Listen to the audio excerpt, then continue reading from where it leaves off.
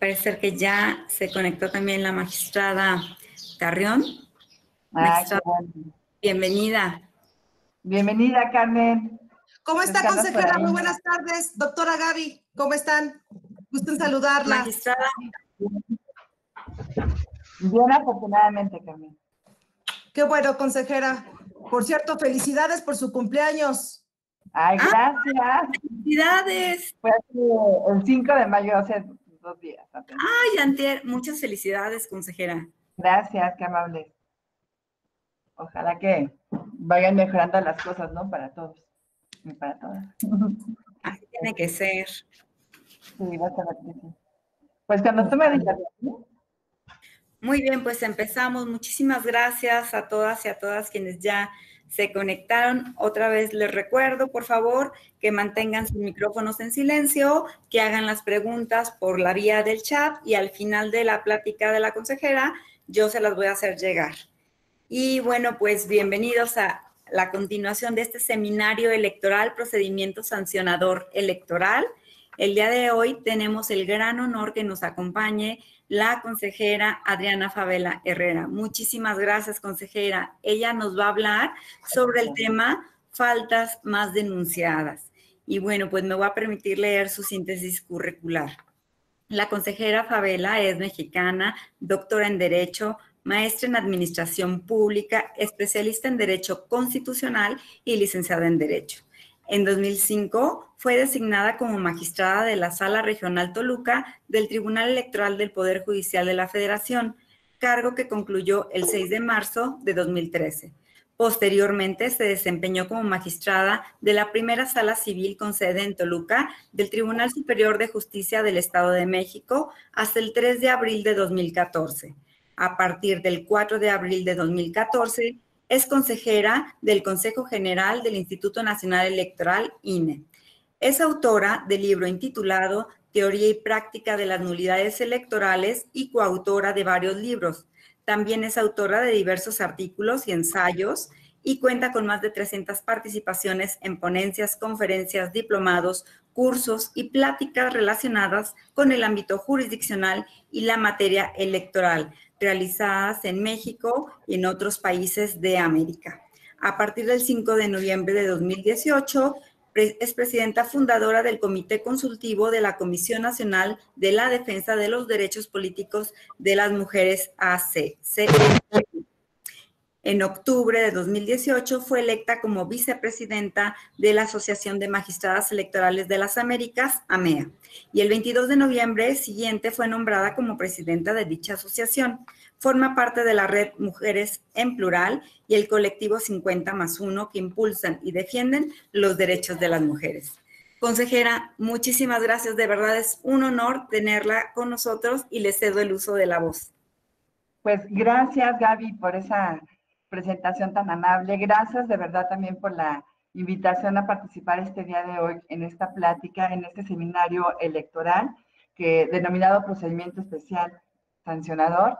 Y a mí me han este, asignado un tema que son las faltas más denunciadas, pero también le quería dar las gracias al magistrado Felipe de la Mata, también que entiendo que él estuvo impulsando este, que se hiciera este seminario, a la magistrada Carmen Carrión, al magistrado Carlos, bueno, pues a todos los integrantes de la sala regional especializada y a los este, integrantes de la sala superior por convocar a este evento que me parece de suma este, importancia. Y bueno, primero también lo que este, espero es que se encuentren bien, que se encuentren este, guardando todas las medidas que nos están pidiendo las autoridades, que sus familias estén bien y qué bueno que tengan tantas ganas de estar aprendiendo y platicando este, de estos temas que son tan importantes. Yo les voy a hablar de las faltas más denunciadas en el procedimiento especial sancionador y obviamente también de la experiencia que nosotros tenemos desde este, la Comisión de Quejas del Instituto Nacional Electoral y lo que nosotros hacemos este, dentro de este procedimiento. Ya tengo también entendido que este, el 5 de mayo el magistrado Felipe de la Mata ya les habló de la introducción al procedimiento especial sancionador. El día de ayer la consejera Claudia Zavala les habló del trámite del procedimiento especial sancionador. Pues ahorita vamos a ver cuáles son las faltas que se denuncian este, en este procedimiento. Y bueno, ya saben que se presenta este procedimiento ante el INE, lo tramitamos este, en la unidad técnica de lo contencioso electoral. Si hay medidas cautelares, pues se pronuncia la Comisión de Quejas y Denuncias del propio instituto, del cual formamos parte, pues la consejera Claudia Zavala y, y la de la voz, Adriana Favela. Este, y después se sigue tramitando el propio procedimiento, se lleva a cabo la audiencia de pruebas y alegatos, y una vez que ya está sustanciado el expediente, se manda a la sala regional especializada para que se pronuncie sobre el fondo del asunto y la sala superior es la que resuelve todas las impugnaciones que tengan que ver con este procedimiento especial sancionador, ya sea de las medidas cautelares este, o bien de lo que se resuelva en el fondo del asunto. Entonces yo ya no me voy a detener tanto en esto, pero nada más hacer un pequeño recordatorio para que nos vayamos este, ubicando.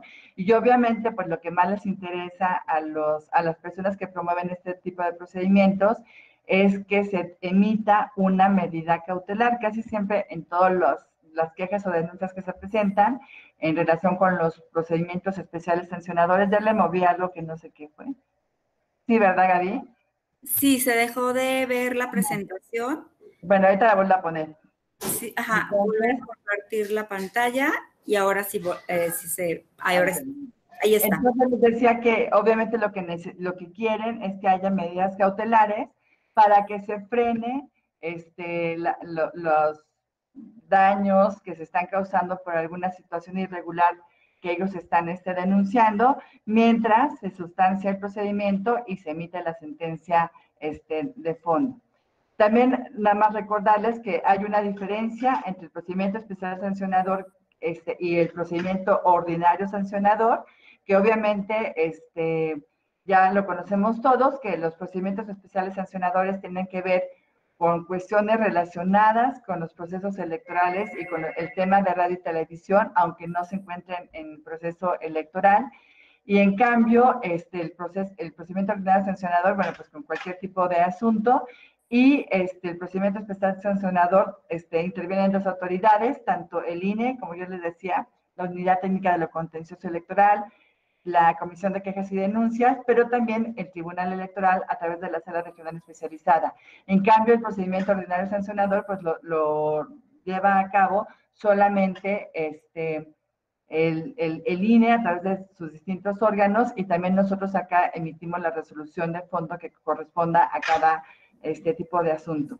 Entonces, esas son las, las, diferencias que nosotros este, tenemos a nivel nacional. Aquí hay una lista de todos los, los temas centrales que se van denunciando. Vemos que hay una similitud en algunos temas que, que se denuncian en los, en los procedimientos especiales sancionadores y en los procedimientos ordinarios sancionadores, pero básicamente, este, les decía, la diferencia es si, está, si se está llevando a cabo o no un proceso electoral en en el momento dado. Y tenemos desde calumnias, promoción personalizada, violencia política contra las mujeres en razón de género, este, actos anticipados de campaña, propaganda este, contraria a la normatividad electoral, uso de símbolos religiosos, entre otros aspectos, que vamos a ir tratando de desarrollarlos a lo largo de esta conversación. Nosotros hemos detectado aproximadamente como 17 temas que son centrales este, en los procedimientos especiales sancionadores y que se han denunciado. Obviamente, pues hay una, variedad pues importante de temas, pero los, más este, recurrentes son estos que yo les estoy comentando. Y en los procedimientos ordinarios sancionadores hay, un, hay 27 temas que también hemos estado localizando pero estamos compartiendo ocho temas centrales, tanto en los PES, si me, me, permiten denominarlo así, y en los procedimientos ordinarios sancionadores. Y aquí hay una tabla que este, acabamos de insertar para que vean ustedes también la importancia de los procedimientos especiales sancionadores. Hemos tenido desde 2014 hasta mayo de 2020 1.629 procedimientos que se han este, presentado 1620 que ya están este, concluidos y tenemos ahí este, unos que todavía están este, pendientes por estarse resolviendo. Y aquí tengo un error, pero bueno, serían aquí nueve los que están este, pendientes de resolverse. Y aquí también hay una gráfica que muestra este, cómo también en los años donde hay elecciones federales es donde tenemos un número más importante de quejas de procedimientos especiales sancionadores y también hay, este, quejas durante los dos años que transcurren entre un proceso electoral federal y otro, pero también hay mucha actividad de este tipo de procedimientos. Este, aquí está como el ranking de los temas centrales más denunciados por año, que son actos anticipados de pre-campaña o campaña, lo que es también la calumnia, la contratación y adquisición de tiempos en radio y televisión, incumplimiento de las pautas del INE, propaganda contraria a la normatividad electoral, uso indebido de la pauta, violación del artículo 134. Y obviamente, este, les digo, están todos los, los otros temas, pero estos son los que comúnmente se están denunciando en cada este, año que, que nosotros estamos este, sustanciando este tipo de procedimientos y que la sala regional especializada, pues bueno, resuelve el fondo de los asuntos. De aquí hay también como gráficas y un índice para que ustedes también vayan viendo cómo va evolucionando, ¿no? En un año se le da más importancia tal, vez a un tema porque es lo que más está este, este, llevando a cabo en la realidad y así van este, cambiando año con año, pero persisten en sí los temas, nada más que unos toman más relevancia que otros, ¿no?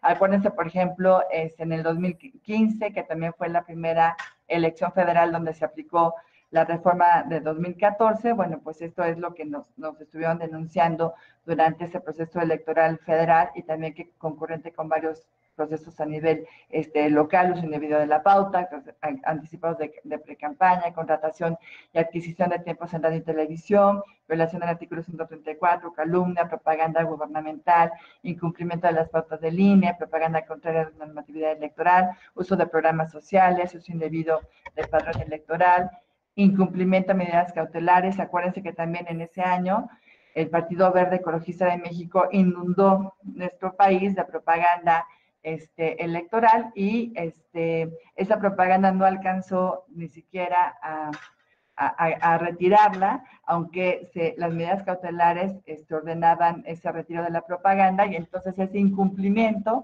a esas medidas cautelares, bueno, pues también fue motivo este, de sanción. Y así cada uno de los años, los digo, van variando el, el, orden de los temas, pero prácticamente son los mismos, unos toman más relevancia este, que otros. Y eso es lo que estamos ahí mostrando en esta presentación. Ahora, este, aquí también allá hay otro concentrado este, de las solicitudes de medidas cautelares. Casi siempre, les decía, cuando se presenta una denuncia, bueno, pues también se solicita la medida cautelar, pero hay en algunas denuncias o quejas que eso no se, se está solicitando y también para que tengamos claro esta circunstancia.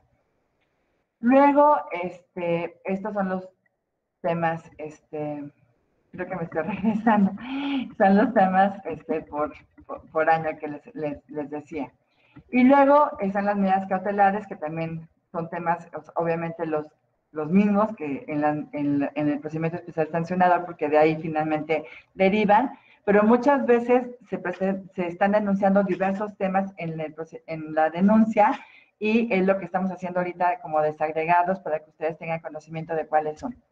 Ahora, este, cada vez que se presenta una, una denuncia, obviamente se le da el trámite correspondiente. Este, las personas que, que, que denuncian más, bueno, pues son los partidos, a los que se denuncian más son a los partidos políticos, eh, gobiernos, militantes, simpatizantes.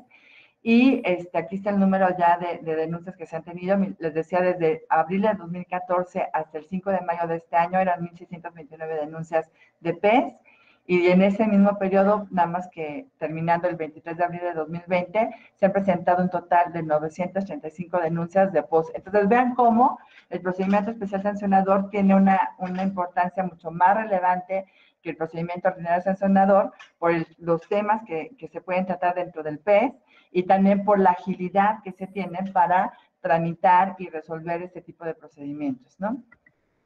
Y bueno, aquí este, también tengo algunos ejemplos de cómo se deben de acreditar las infracciones. Acuérdense que tanto cuando se están analizando las medidas cautelares, cuando se solicitan, y también al momento de resolver el fondo del asunto, pues no basta con quedarnos con lo que nos dicen en la denuncia o en la queja, sino que tenemos que verificar ciertas circunstancias para poder determinar si se acredita o no la irregularidad que se está haciendo valer. Y por ejemplo, en el caso de la calumnia, aquí les tengo algunos ejemplos donde nosotros desde el INE adoptamos medidas cautelares, o sea, se declararon este, procedentes. Por ejemplo, cuando a Néstora este, le dicen que va a ser senadora plurinominal por Morena, una secuestradora que está libre por una falla en la, en la policía, y esta era una imputación de delito a persona identificada, ¿no? O cuando a Miguel Ángel Yunes, cuando estaba siendo este candidato a la gubernatura de Veracruz, también se le, acusaba de pederasta y también había spots este, en ese sentido y que decían que Miguel Ángel, bueno, lo han acusado de pederasta varias veces y era una imputación de un delito a una persona identificada, ¿no?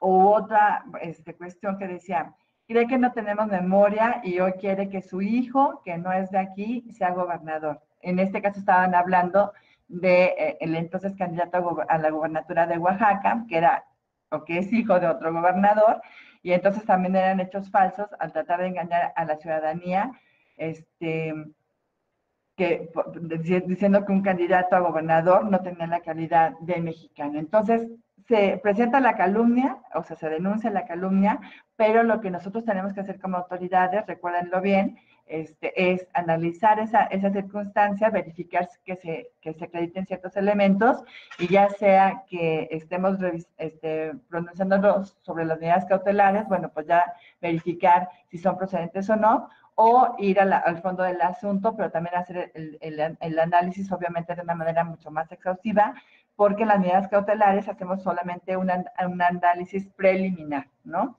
Y bajo la apariencia del buen derecho y con los elementos que se tengan en ese momento en concreto. En cambio, cuando ya se emite una sentencia de fondo, obviamente ya hay una investigación mucho más desarrollada, ya se tienen todos los elementos que se necesitan para resolver y entonces ya se puede emitir la sentencia correspondiente.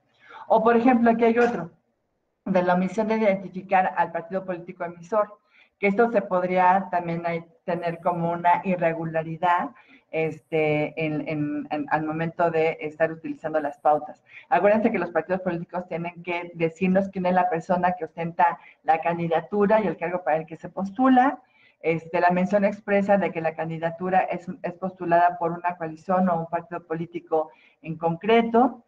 Este, los elementos visuales y auditivos que racionalmente permitan y distinguir que se trata de una candidatura postulada en coalición o en partido político, la identificación clara del partido político responsable de la difusión del mensaje. Eso es lo que tendrían que cumplir los partidos políticos. Si no lo hacen, entonces este, puede haber una omisión que puede traer como consecuencia que se adopte una medida cautelar o bien que se imponga alguna este, sanción por alguna, este, haberse cometido alguna este, irregularidad o en los actos anticipados de pre-campaña o campaña. Se tienen que identificar ciertos elementos, el personal, que la identificación del, sujeto que se está supuestamente promocionando, el elemento subjetivo, tener la intención de llamar a votar o pedir apoyo a favor de o en contra de una opción política, y el elemento temporal que se realice durante las etapas de pre-campaña o campaña para que entonces podamos hablar de que haya actos anticipados de pre-campaña o de campaña. Ahorita vamos a tener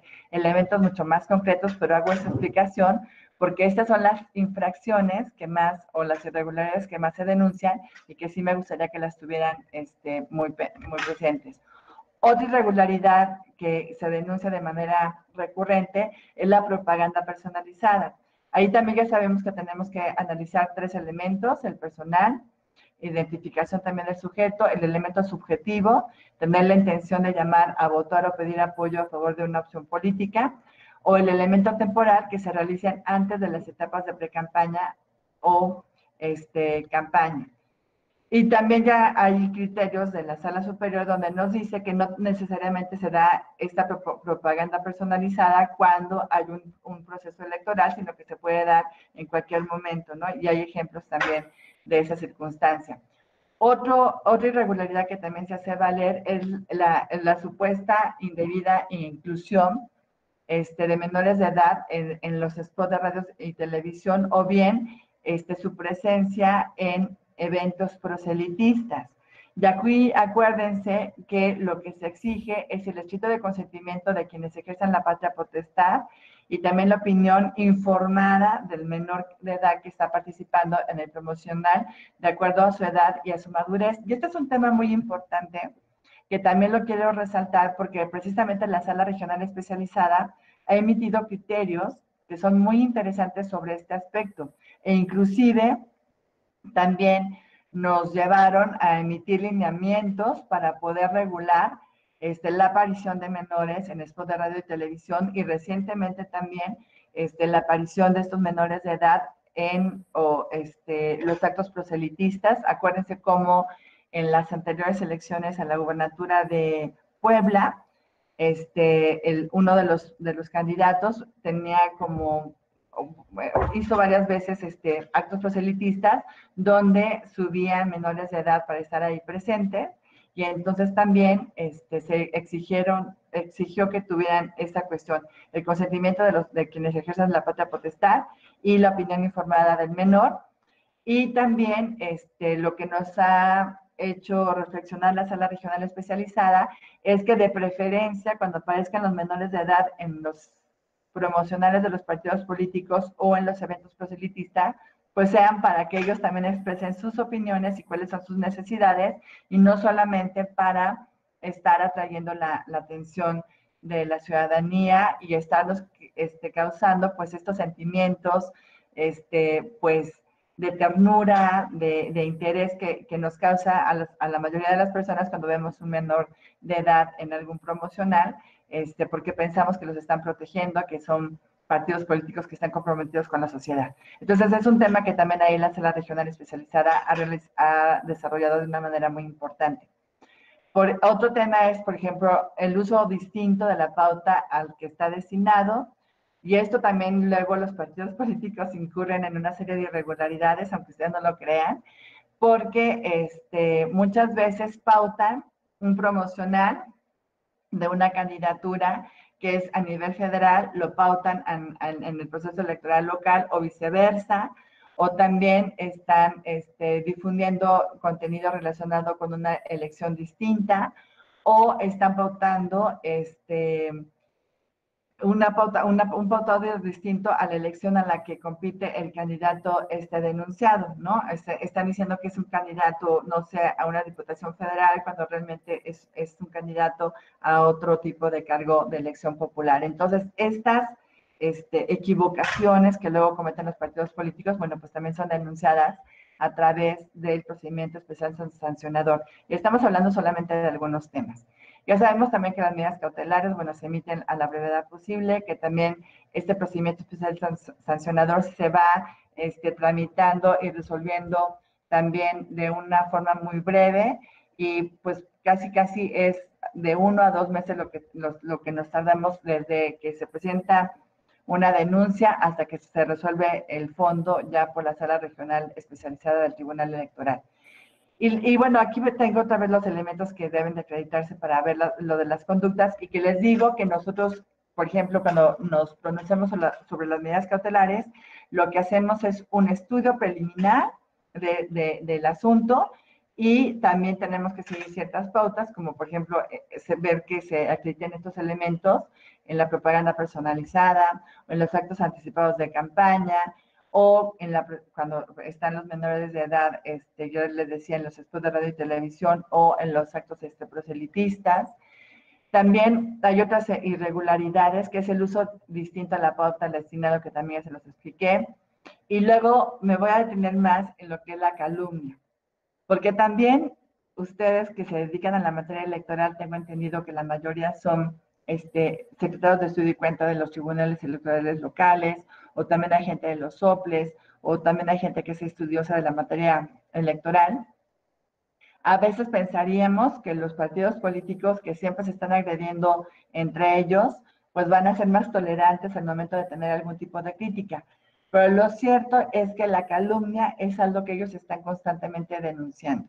Entonces, acuérdense que la calumnia es cuando se hace una imputación de un hecho o un delito que son falsos y este, tenemos que verificar, obviamente, este, de que se trata de expresiones calumniosas y debe de existir un vínculo directo entre la expresión que se está realizando y el sujeto al que se está señalando, de forma tal de que, que sea evidente que se le está haciendo este, referencia a esta persona y que se le está este, injuriando.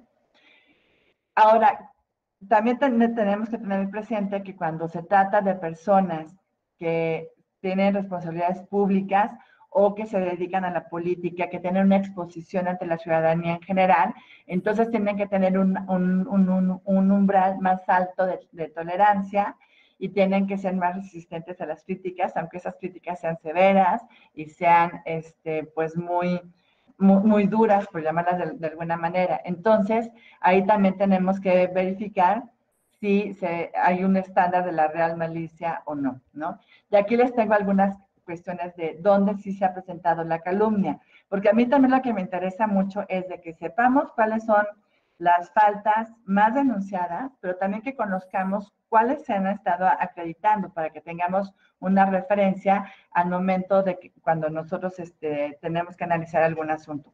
Aquí está este asunto que se da en 2017 en contra de Delfina Gómez. Acuérdense que ella era candidata a la gubernatura en el Estado de México, postulada por, por Morena.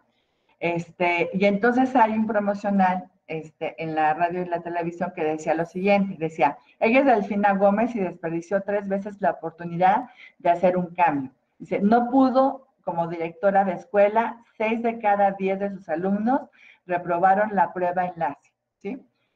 Nosotros en el INE, cuando analizamos las medidas cautelares, las declaramos improcedentes, pero porque resolvimos con los elementos que teníamos en ese momento. Y entonces aquí, pues realmente pensamos que no había la imputación de un delito y que esto de que si esta información que se estaba aquí dando era verdad o no, pues no teníamos todavía el tiempo suficiente para, este, para investigar. Pero ya que se, que se analice el fondo del asunto, resulta que este hecho de que seis de cada diez de sus alumnos habían reprobado la prueba enlace, no era cierto. Esto fue desvirtuado por la SEP. Entonces ahí ya empieza a configurarse la calumnia. Luego otra expresión dice, tampoco pudo como alcaldesa.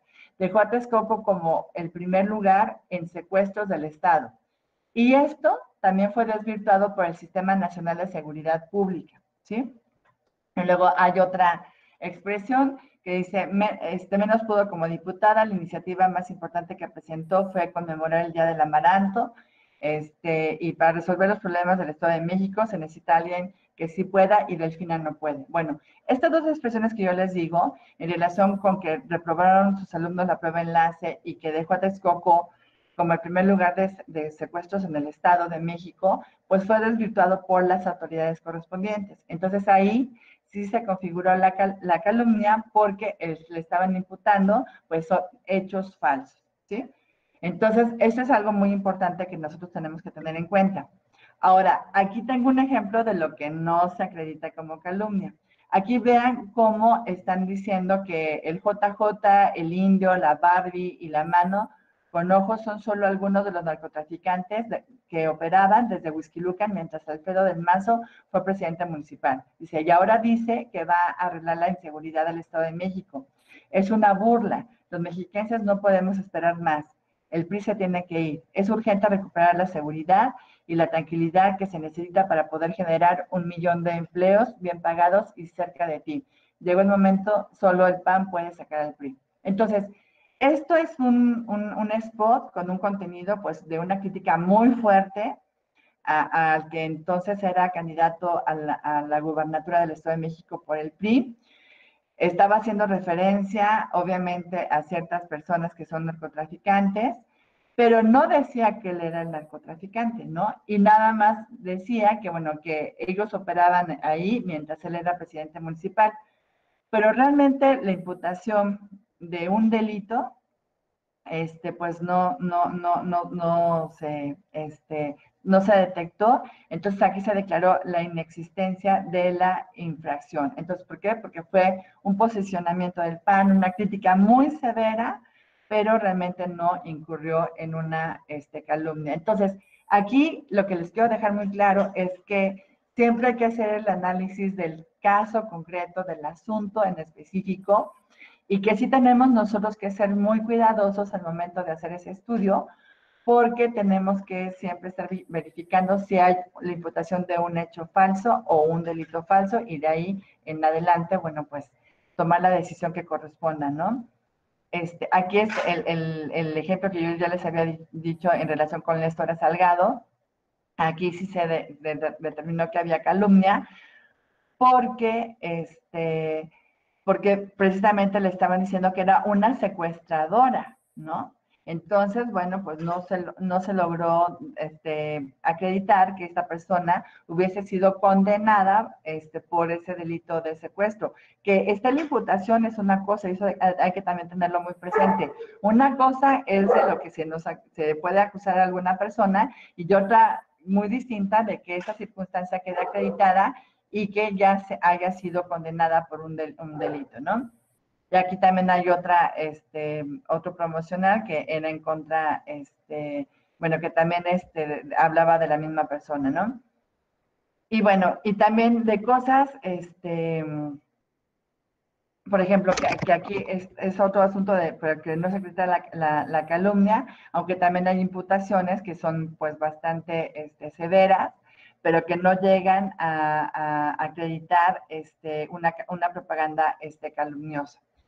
Y aquí hay otros, otros ejemplos. Entonces, aquí lo que me encantaría es que ustedes tengan muy claro de, de, pues, lo interesante que es analizar este tema, pero que sí tenemos que ir caso por caso para poder ver si hay o no la imputación de un delito o de un hecho este, falso. Ahorita lo que estamos aquí viendo en la pantalla es un video que se llama El cielo y el infierno de AMLO, publicado en YouTube, y ahí decía que este, una persona era tapadera de fraudes, que otra persona era un, un, fracaso empresarial, que otra persona era 43 veces delincuente y que otra persona estaba llena de escándalos, que otros eran fraudulentos. Pero realmente no había la imputación de un, este, una, una calumnia, ¿no? Entonces, estos son algunos temas. Obviamente podemos encontrar en las sentencias de la sala regional especializada, pues una infinidad de asuntos. Y, esto también es muy interesante que la gente que trabaja, por ejemplo, en los soples, en los tribunales electorales locales, tengamos muy, muy, muy claro estos, estos temas, pues para que cuando tengan un asunto similar, pues puedan ir adoptando ya un criterio en específico.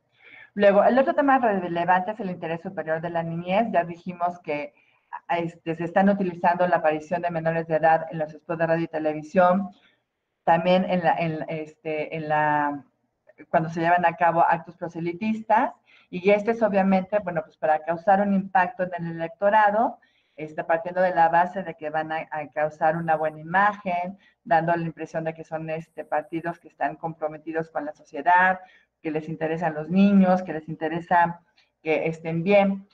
Pero ya sabemos que muchas veces, bueno, solamente es este, estarlos, pues de alguna manera utilizándolos y yo me hago cargo de lo que estoy diciendo, porque a mí en lo personal no me agrada mucho la idea de que se permita la aparición de menores de edad en estos spots de radio y televisión o en actos proselitistas, pero finalmente, bueno, hay toda una regulación que está velando por el interés superior de la niñez. Este, ya hubo varias denuncias este, y a partir de esas denuncias fue que se fueron realizando o, adoptando ciertos este, criterios, ¿no?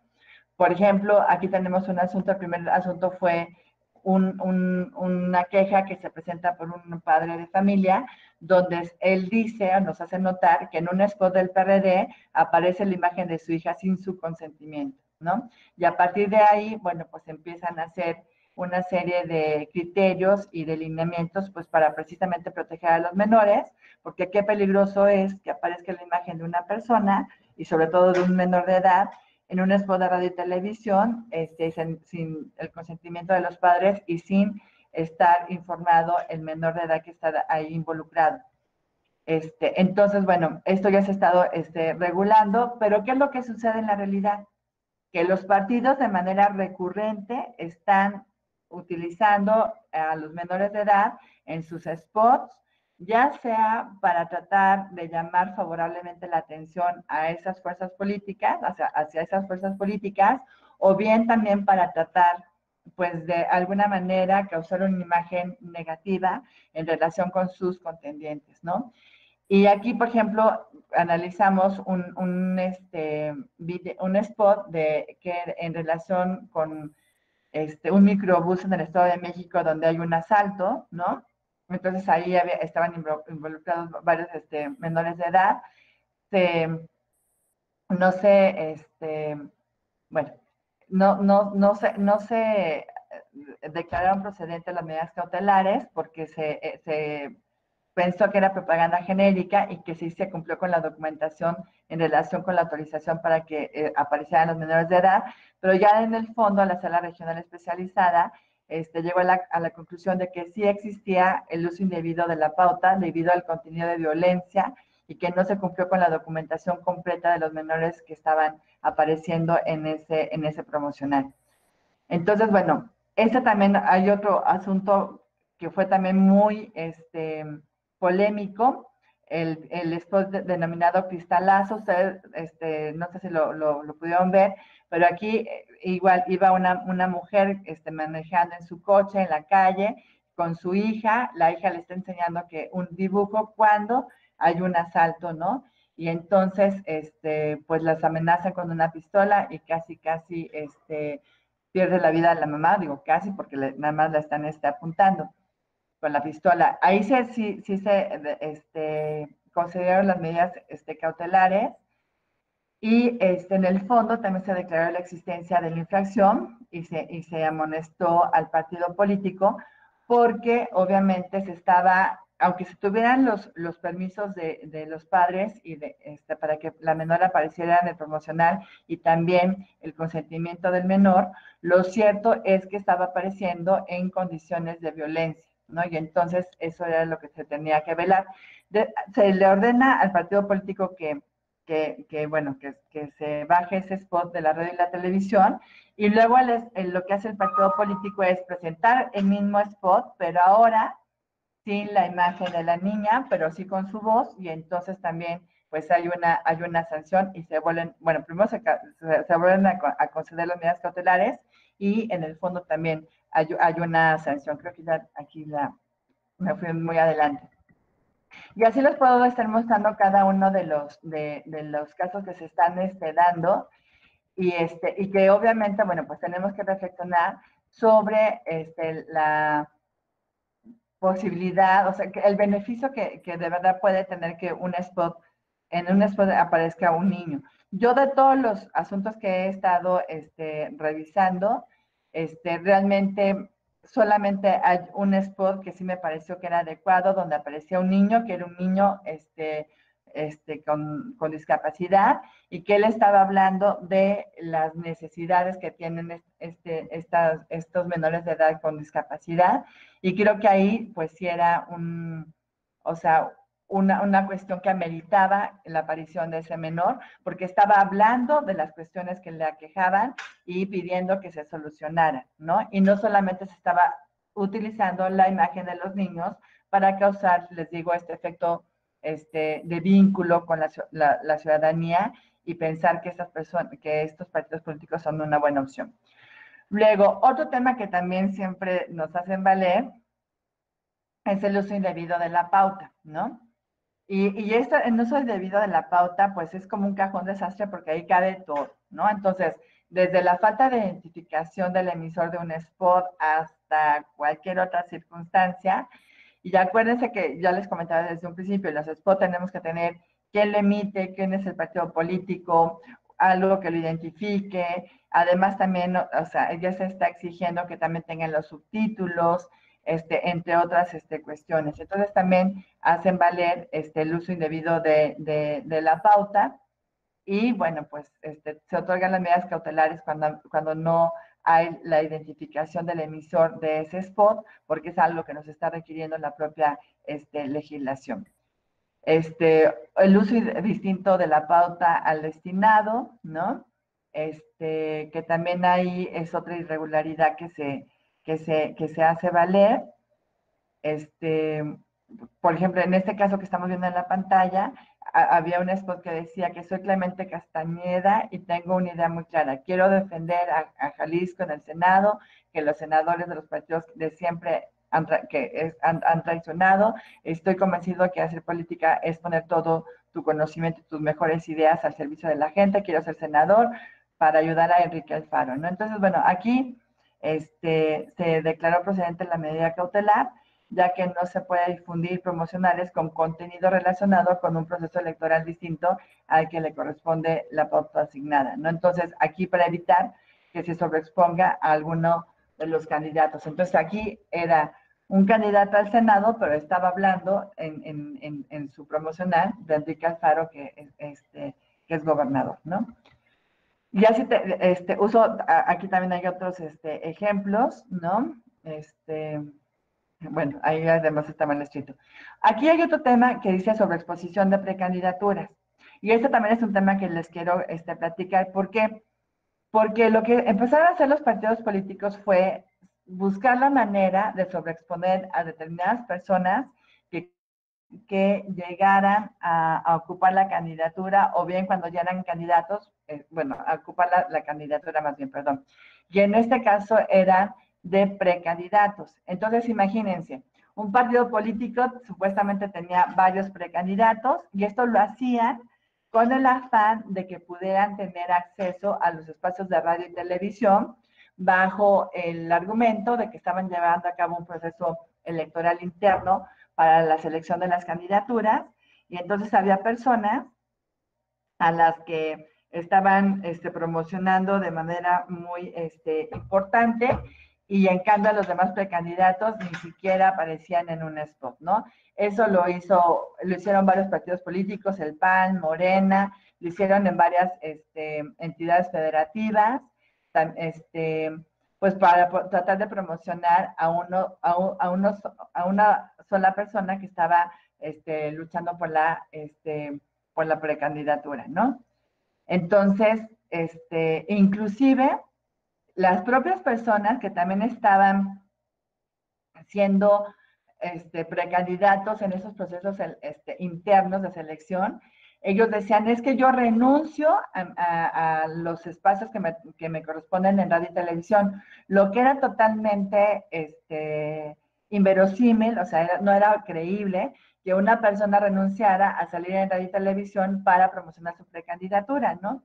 y que decían que mejor pasaran este, spots genéricos de su partido político, ¿no? Y aquí tenemos varios ejemplos, ya fueran este, del partido este, Acción Nacional, de Morena, y les digo, todo eso lo hacían con el afán de poder estar promocionando a un, a, los, a un precandidato en específico, pero bajo el argumento de que tenían un proceso de selección interna donde había varias personas contendiendo, ¿no?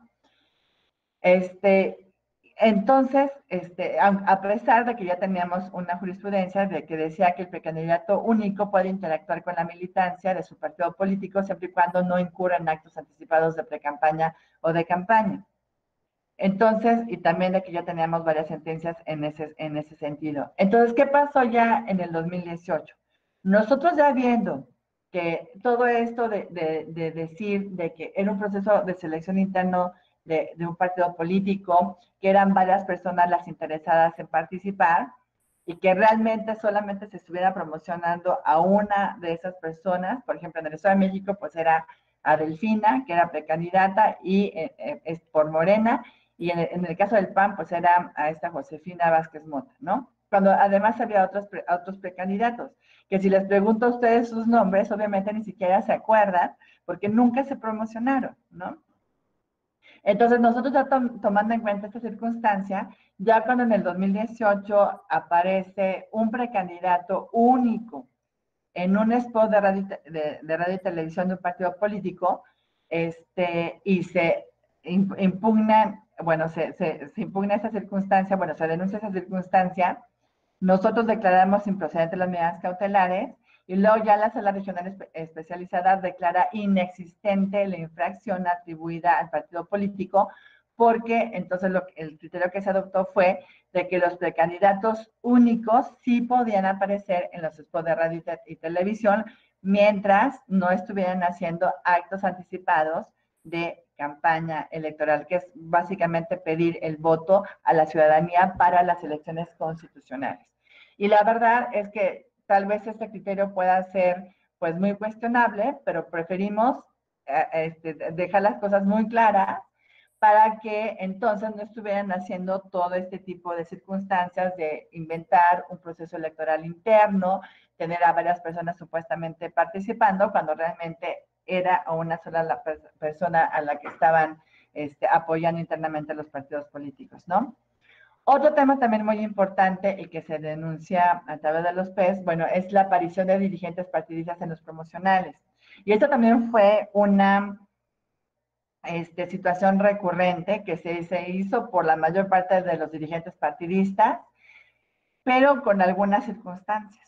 Muchos de estos dirigentes partidistas, cuando salían en los spots de radio y televisión, lo cual se determinó que estaba permitido, y lo que yo también este, coincido, el único problema es que dos de esos dirigentes partidistas, inmediatamente después, también ya fueron este, pues candidatos de sus partidos políticos a la presidencia de la República, ¿no?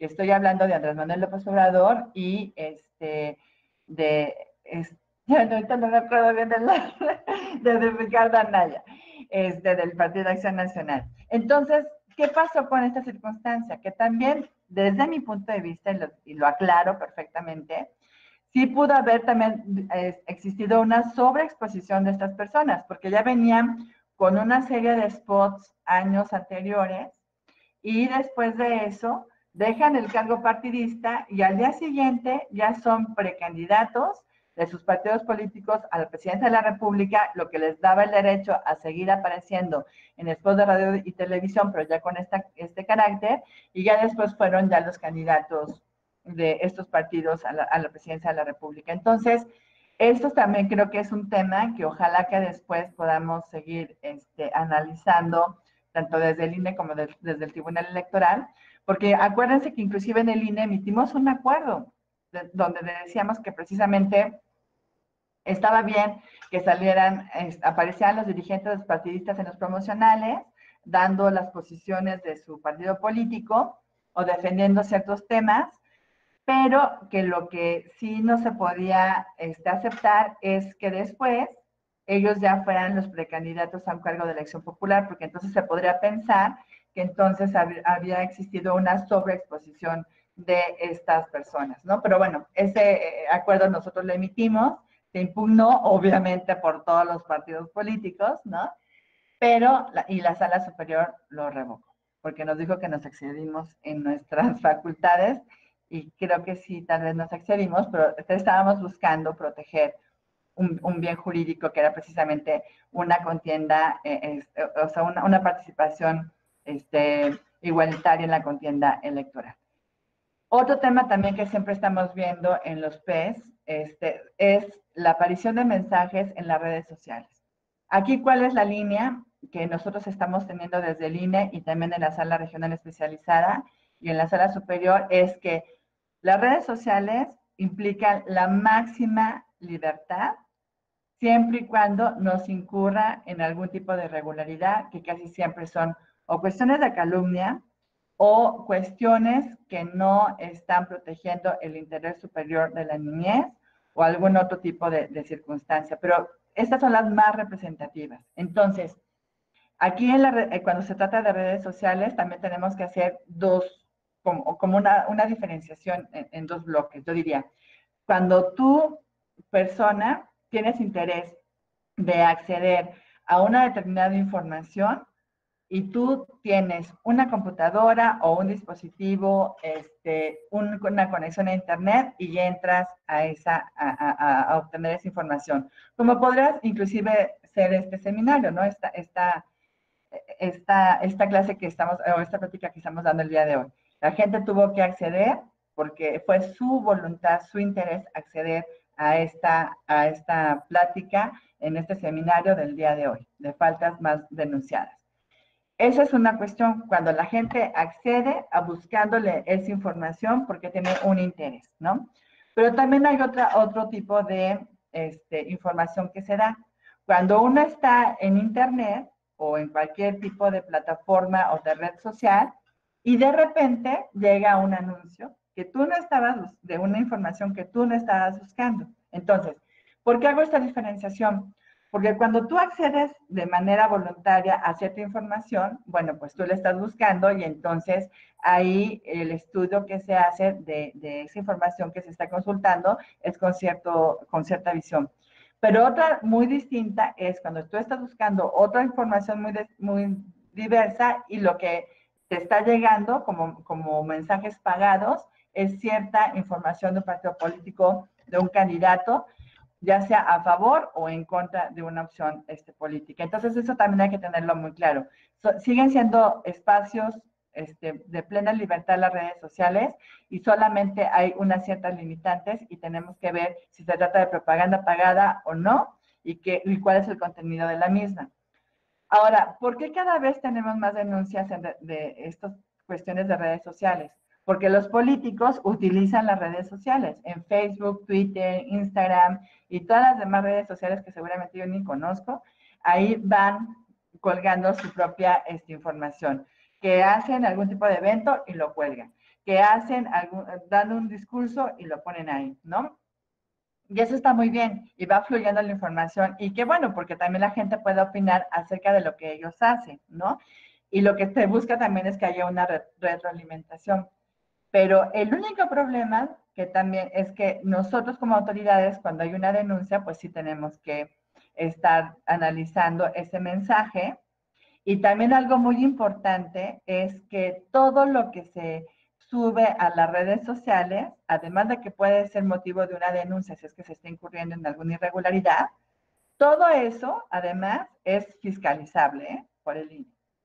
Y eso también se los quiero, aclarar porque luego la gente y los partidos quieren estar promocionando toda su información, lo que me parece muy bien, pero luego nosotros desde el INE decimos, mira, ahí está determinado candidato de, cierto partido político, ahí tiene 20 sillas, tiene agua, tiene una pantalla, tiene una, bocina, y todo eso, si no nos lo reportan en sus informes, nosotros sí lo podemos acreditar que que lo utilizaron y que se tiene que, este, pues obviamente, poner una cantidad de dinero que seguramente es la que ellos gastaron y en caso de que no la hayan ellos este, reportado, entonces nosotros sí lo sancionamos. Entonces, eso también es una cuestión ahí ah, que les quería este, puntualizar. También este, hay varias jurisprudencias en relación con Internet y las redes sociales. Este, les digo, es plena libertad, pero de todos modos sí hay un régimen de responsabilidad eh, que tiene que ser adecuado a, dichos medios. Y nosotros eh, cuando emitimos una medida cautelar en relación con cierta información que está en alguna red social, pues lo que hacemos es notificarle, por ejemplo, a Facebook, a, Twitter o a Google o a cualquier este, red social o internet para que bajen esa información. Y también aquí aprovecho para decirles que cuando ustedes también tengan conocimiento de algún tipo de información que puede ser constitutiva de alguna irregularidad, pues también la pueden denunciar a, través de la propia red social, además de la denuncia que se puede hacer este, de manera formal ante el INE este, o ante los soples para que se pueda ver ese tema. Otro tema también muy interesante es el, uso indebido de, la pauta, ¿no? Que ya les decía que también este, siempre se está este, haciendo denuncias en relación con este, este tema. Este, entonces, lo que hacen los partidos políticos es estar denunciando cada vez que un otro partido está este, difundiendo un spot de radio y de televisión. Este, lo que quiero llegar, antes, y antes de que se me vaya a empezar a terminar el, tiempo, es a, lo que tiene que ver también, por ejemplo, con cápsulas de radio. En 2018 también hubo varias cápsulas de radio que se estuvieron este, difundiendo en un, en, un medio y supuestamente eran unas entrevistas a Ricardo Anaya, pero realmente las pasaban con cierta periodicidad y eh, que ya dejaron de ser simplemente entrevistas y ya era una promoción este, este, de, este, de, esta, de, esta, persona, ¿no? Era, y, y, eso también fue motivo de sanción. Este, también, mm, algo muy importante es cuando se está utilizando la imagen o las voces de personajes públicos. Por ejemplo, en, este, en la pantalla tenemos un, un, un ejemplo de un spot donde aparecía la voz de Ciro Gómez Leiva, también este, la inserción de una nota este, en voz de Denise Merker. Y ahí también, obviamente, se pueden utilizar toda, en, los spots de radio y televisión y en la propaganda de los partidos políticos, toda aquella información que se haya generado, ¿sí? Pero, ah, ojo, tiene que ser información que de verdad se haya dado. Y esto también, ¿por qué lo digo? Porque más adelante también tenemos algunos ejemplos de cómo algunos partidos políticos, sabiendo que el criterio del INE y del tribunal es de que sí pueden los partidos políticos retomar noticias que se hayan este, difundido. Entonces lo que hicieron algunos partidos políticos fue inventar sus propias noticias que eran, este, obviamente, este, para tratar de afectar algún, algún, algún otro candidato o partido político, ¿no? Entonces, este, ahorita les sigo explicando e, esos temas. En este caso concreto, lo, lo que se sancionó fue que se hubiese utilizado un spot, o sea, del Partido Acción Nacional, para hacer una, una defensa de una persona en específico. Entonces aquí sí se, sí se acreditó que se había utilizado este, la pauta de manera indebida. Pero bueno, les decía que hay otros ejemplos que están más adelante donde las personas, los propios partidos políticos inventan sus noticias y eso los insertan en los spots de radio y de televisión para hacer creer que esas noticias fueron verdaderas y hacer una afectación. Ahorita también lo que tenemos aquí como tema es la violencia contra las mujeres. Y este tema es sumamente importante. ¿Por qué? Ustedes recordarán que apenas el 13 de abril de este año ya se publicó en el diario oficial de la Federación las reformas que tienen que ver con la violencia política contra las mujeres por razón de género. Ya hay una definición de cuál es, este, en qué consiste esta, esta circunstancia. Ya hay una serie de pues, acción, bueno, de actitudes, de, circunstancias que se pueden dar y que pueden acreditar esta violencia contra las mujeres. También ya este, se, ahora sí que se facultó al INE para que nosotros podamos este, pronunciarnos sobre las denuncias de violencia contra las mujeres eh, en relación con las medidas cautelares, lo que ya habíamos estado haciendo, pero ahora ya tenemos una legislación que nos ayuda, que nos ampara. Nosotros lo habíamos estado haciendo este, tomando en cuenta todos los documentos a nivel internacional, los tratados firmados por México, el artículo primero de la Constitución, el protocolo para atender la violencia política contra las mujeres, pero ahora ya tenemos una ley y esa es la muy buena noticia. Y ya en el fondo, la sala regional especializada pues ya resolverá este tipo este, de asuntos. ¿Y qué es lo que tenemos que ver aquí? Que hay una violencia este, política por razones de género en contra de las mujeres, cuando se dirige a una mujer por el hecho de ser mujer, ¿sí? Que, la, que se le afecta desproporcionadamente, si tiene un impacto diferenciado entre hombres y mujeres, se obstaculiza o anula su reconocimiento, goce o ejercicio de sus derechos políticos y se ocurre en el marco del ejercicio de un derecho político electoral o bien en el ejercicio de un cargo público. Y esto es sumamente importante, y así también quedó la reforma, de que no solamente se protege a las mujeres cuando son precandidatas, candidatas, sino también cuando acceden a, los cargos de elección popular, que es ahí también donde tenemos casos de mucha violencia contra las mujeres. O sea, las mujeres sufren violencia desde que están participando al interior de sus partidos políticos buscando una candidatura, y hay estudios también que nos dicen que es en los partidos políticos donde más son violentadas, pero también son violentadas cuando logran la candidatura y son registradas ante las autoridades electorales correspondientes, porque entonces en las campañas electorales también sufren violencia, ya sea en los spots de radio y televisión, en la propaganda electoral o de, algún otro, de alguna otra manera. Pero cuando yo, y, luego si logran llegar a, a acceder al cargo de elección popular, también son violentadas porque no las dejan asumir el cargo.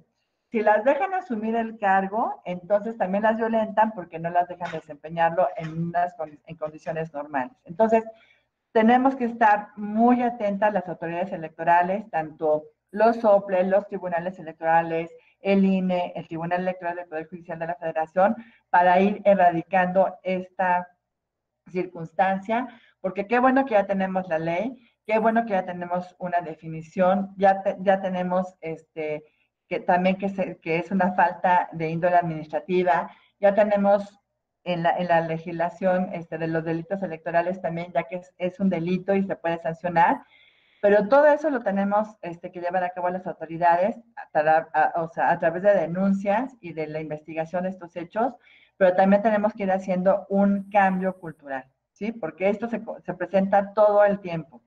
¿Por qué? Porque estamos en una sociedad machista, este, patriarcal, donde los hombres, algunos de ellos piensan que esos espacios que están ocupando las mujeres como candidatas o como ya este, funcionarias ya electas a los cargos de elección popular, son espacios que a ellos se les quitaron. ¿no? Entonces hay que hacer todo este cambio este, cultural. Entonces, bueno, aquí también tenemos este, varios ejemplos. Por ejemplo, este, este spot que es el de las vecinas, donde se utiliza un problema muy grave que es la violencia doméstica, que obviamente hay que erradicarlo, pero en vez de buscar una solución, lo que se utilizó fue este problema para golpear a una fuerza política. Y ahí, bueno, sí se este, procedieron las medidas cautelares y también se sancionó ya al momento de ver el fondo del asunto. Tenemos este spot también de la planadora, donde también era un spot muy angustiante, este, que, había pautado el PT, pero ahí también las cautelares fueron más bien improcedentes y también este, la sala regional especializada, al momento de ver el fondo del asunto, llega a la conclusión de que se que refuerza estereotipos de género, este, y porque inserta bueno, un riesgo de, de violencia físico grave y revictimiza a las mujeres, pero ya la sala superior revocó esa determinación porque no admite una expresión de violencia en razón de género. Pero la verdad es que si ustedes recuerdan, recuerdan ese spot, era muy angustiante porque era una mujer que estaba amarrada de las manos, de las piernas, este, no podía hablar porque tenía algo en la, en la, boca, y entonces venía una planadora y casi cuando ya estaba a punto de aplastarla, entonces la mujer se liberaba de esas ataduras y ya, este, según esto, según la visión del partido político, salía como victoriosa, pero realmente era un spot pues bastante polémico y que yo creo que la verdad este, pudiera haber sido, o, sea, como lo decía la sala regional especializada, que estaba reforzando estereotipos de género y revictimizando a las mujeres, pero vean también cómo utilizan a las mujeres también para causar controversia, ¿no? Porque esto no se lo hacen a los hombres, se lo hacen a las mujeres. Luego también teníamos este, también expresiones publicadas en redes sociales, donde hay también pseudo periodistas que con un afán supuestamente informativo, de repente empiezan a decir una serie de cosas en relación con mujeres y ya saben, ¿no? Metiéndose con su vida personal, con su vida sexual, tachándolas de cualquier tipo de cosas, hasta, en este caso hasta de prostituta, este, y diciendo que andaba con miles de hombres, y era con el simple hecho de tratar de desprestigiar a una mujer que estaba contendiendo por un cargo de elección popular y que, bueno, nosotros este, sí eh, concedimos las medidas cautelares y en el fondo del asunto también se este, castigó ese tipo de circunstancias. Y yo obviamente, este, bueno, pues a estas personas que están acostumbrados a hacer este tipo de expresiones, pues les cuesta mucho trabajo también aceptar las determinaciones de la autoridad electoral y si no mal recuerdo, también se estuvo este, pues batallando mucho para que la persona bajara toda la información de sus redes sociales, ¿no? Otro también spot polémico en relación con violencia política en razón de género fue el llamado chocolate, donde era un spot en contra de Marta Erika, que era la entonces candidata a la gobernatura de Puebla, y donde también se le decía pues que ella no sabía hacer absolutamente nada de política y que la pusieron ahí como candidata para que su esposo se pudiera reelegir, ¿no? También otro spot llamado Espejito, también donde era violencia política en razón de género, y también era un, este, utilizar un cuento, el cuento de Blancanieves, para poner a Marta Erika como también una persona que solamente estaba haciendo lo que su marido quería y en este caso era para el afán con el afán de reelegirse, ¿no?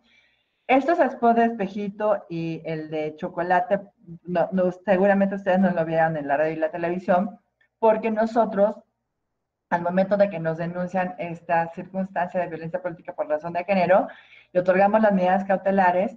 Estos spots todavía no estaban al aire, o sea, todavía no estaban difundiéndose en la radio y la televisión, pero sí estaban ya en el, en el portal de pautas del INE, y entonces cualquier interesado podía entrar para ver esa información. Y acuérdense que hay un, criterio también de la sala superior que nos dice que desde que están los spots, este, ahora sí que visibles en la, en la, en la página este, o en el portal del INE, desde ese momento también se pueden denunciar y se pueden solicitar medidas cautelares y si son procedentes, bueno, pues la Comisión de Quejas y Denuncias las puede este, conceder. Pero les decía que en este también es por el espejito, la utilización de un cuento de niños, ¿no? Un cuento de hadas, supuestamente, este, cómo lo, lo utilizan para tratar de desprestigiar a una mujer y, y, también partiendo de la base de que los cuentos son una manera de comunicar de, de, una forma muy efectiva, precisamente por la penetración que tienen en la propia este, sociedad. Luego, aquí, bueno, este, también hubo unos spots de unos menores representando las, a varias candidaturas a la presidencia. Este fue también un spot pues, bastante este, polémico. Nosotros no concedimos las medidas cautelares, este, pero sí finalmente en el fondo, bueno, se declara la inexistencia de la infracción y después ya se revoca esa, esa determinación por la sala superior y se llega a la conclusión de que sí hay una este, infracción. Y ya acuérdense que era el spot donde cada niño representaba a uno de los candidatos a la, presidencia de la República y también había una niña que representaba a Margarita y este, iban pues planteando algunas este, circunstancias, ¿no? Y bueno, entonces esto finalmente también fue este, sancionado. Este, usos, ah, también otra cosa, se ha, ha estilado mucho que para tratar de también desprestigiar algún partido político, se utiliza su emblema en cierta propaganda, este, en este caso, por ejemplo, estaban este, ofreciendo alguna serie de, de beneficios y eso también confunde a la propia ciudadanía. Mensajes en Twitter de los famosos, lo recordarán en el 2015, cuando el propio día de la jornada electoral, varios famosos empiezan a, hacer, a tuitear a favor del Partido Verde Ecologista de México y finalmente se sanciona al Partido Verde, no hacia los famosos, porque supuestamente eran este, la emisión de mensajes en el ámbito de su libertad de expresión, que también habríamos que ver ese tipo de, de, conclusiones, porque finalmente yo creo que no lo hicieron de manera espontánea, sino que había ahí algún cierto interés, aunque obviamente eso no se pudo comprobar. Pero recuerdo que tuvimos que sesionar el propio día de la jornada electoral para conceder las medidas cautelares y ordenarle a Twitter que bajara esos mensajes. Este, y lo, lo, lo, que les decía yo también de los hechos noticiosos retomados en Spot, que eso es válido, pero luego ya eh, algunos partidos políticos han estado generando supuestas noticias que obviamente son falsas, ¿no? Por ejemplo, aquí había una cuestión que decía déficit de médicos, que creo que se tenía que ver con Puebla, y se utilizaba el logotipo del, del periódico Reforma, y realmente esta noticia nunca existió, ¿sí? Aquí también otra primera plana de síntesis de un periódico de Puebla, donde decía primer lugar en muerte este, infantil. También sí existe el periódico, pero esa noticia que se hablaba ahí nunca existió. Entonces, yo sí soy de la idea de que efectivamente se pueden retomar hechos noticiosos que se hayan dado a conocer y los puedes retomar en los spots de radio y televisión y puedes utilizar fragmentos de cuando se estaba dando la noticia pero lo que no pueden hacer los partidos políticos ni nadie es inventar sus propias noticias y hacerlas como que fueron difundidas por algún medio de comunicación. Entonces, bueno, y eso les ha pasado a varios este, comunicólogos como Carmen Aristegui, Joaquín López Dóriga, Denis Merkel, Ciro López Leiva, entre otras, este, otras personas. Y también aquí la regla es de que sí se pueden utilizar las imágenes, las noticias, pero que no las saques del contexto. Acuérdense cómo también había, este, no, sé, no me acuerdo si era en el 2015, un spot del PRD donde salía Joaquín López Doriga, pero sacaba la imagen de Joaquín López Dóriga cuando el, el PRD decían, estaba diciendo que eran corruptos los gobiernos del PRI, y entonces cuando decía corrupto sacaba a, esta persona. Entonces ahí se concedieron las medidas cautelares y, creo que después también hubo algún tipo de, de, sanción. Luego, este, yo lo que decíamos que también en relación con la calumnia, bueno, los funcionarios públicos tienen que tener un mayor este, grado de tolerancia, este, y también algo que, que, tenemos que siempre estar viendo las autoridades electorales es en qué punto ya se vuelve una cuestión calumniosa, en qué punto estamos hablando de la libertad de expresión o el derecho a la información, ¿no? Que, son como los tres grandes rubros que tenemos que tener presentes todo el tiempo, porque sí, obviamente hay la libertad de expresión y eso hay que protegerla al máximo, hay el derecho a la información que también hay que protegerlo al máximo, pero también cuidar que no se cause un, o sea, calumnia a, este, a determinada persona cuando le estás imputando un hecho o un delito que es falso, ¿no? Este, y ahí, ahí están este, tesis y todo. Lo que les decía de la, de la publicidad pagada, la publicidad en redes sociales, la diferencia entre una y otra, y esta cuestión de la voluntad de acceder a una determinada información, este, que obviamente pues si tú accedes a una información es por tu propia este, libertad y decisión, y ahí tenemos una mirada diferente que cuando se trata de publicidad pagada en redes sociales, ¿no? Este, y, los ejemplos también, este, bueno, pues son este, muchísimos. También, este, también se ha utilizado las propias redes sociales, les decía, para causar este, violencia política en contra este, de las mujeres. Le vimos el caso de Magali Fregoso Ortiz, que la tachaban de toda una serie de circunstancias. Este, y también, bueno, pues hay otro tipo de, elementos. También recuerdo en Twitter unos mensajes entre dos mujeres que estaban contendiendo por una diputación y una de ellas atacaba a la otra mujer. Entonces, la violencia política por razón de género en contra de las mujeres no solamente este, incurren en ella los hombres, sino que también hay algunas mujeres que la van este, generando. También este, tenemos otro tipo de, irregularidades, como la que estamos viendo ahorita en la pantalla, donde hay un cartel denunciado en Instagram, este, que estaba en Instagram en relación con, con uno de los candidatos a la presidencia de la, de la República. Y este, ya para irnos acercando casi para finalizar mi presentación, les quiero hablar también este, de propaganda personalizada este, y tal vez uso de recursos públicos. Y tuvimos un asunto muy importante este, en relación con los que se denominan, este, por aquí lo tengo, bueno, que son servidores de la nación.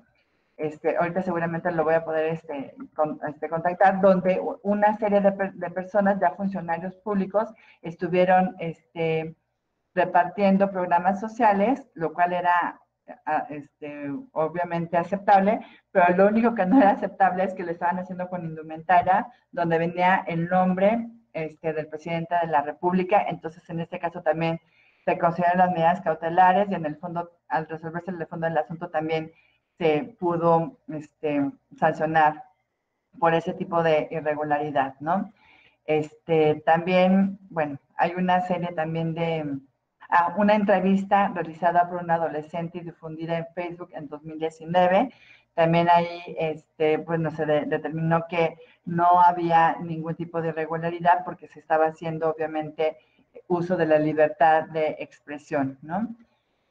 Este, y aquí están las imágenes de cómo un, menor de edad estaba este, entrevistando a uno de los candidatos, ¿no? Este, también les digo, hay una serie de, circunstancias que, también tenemos que estar velando.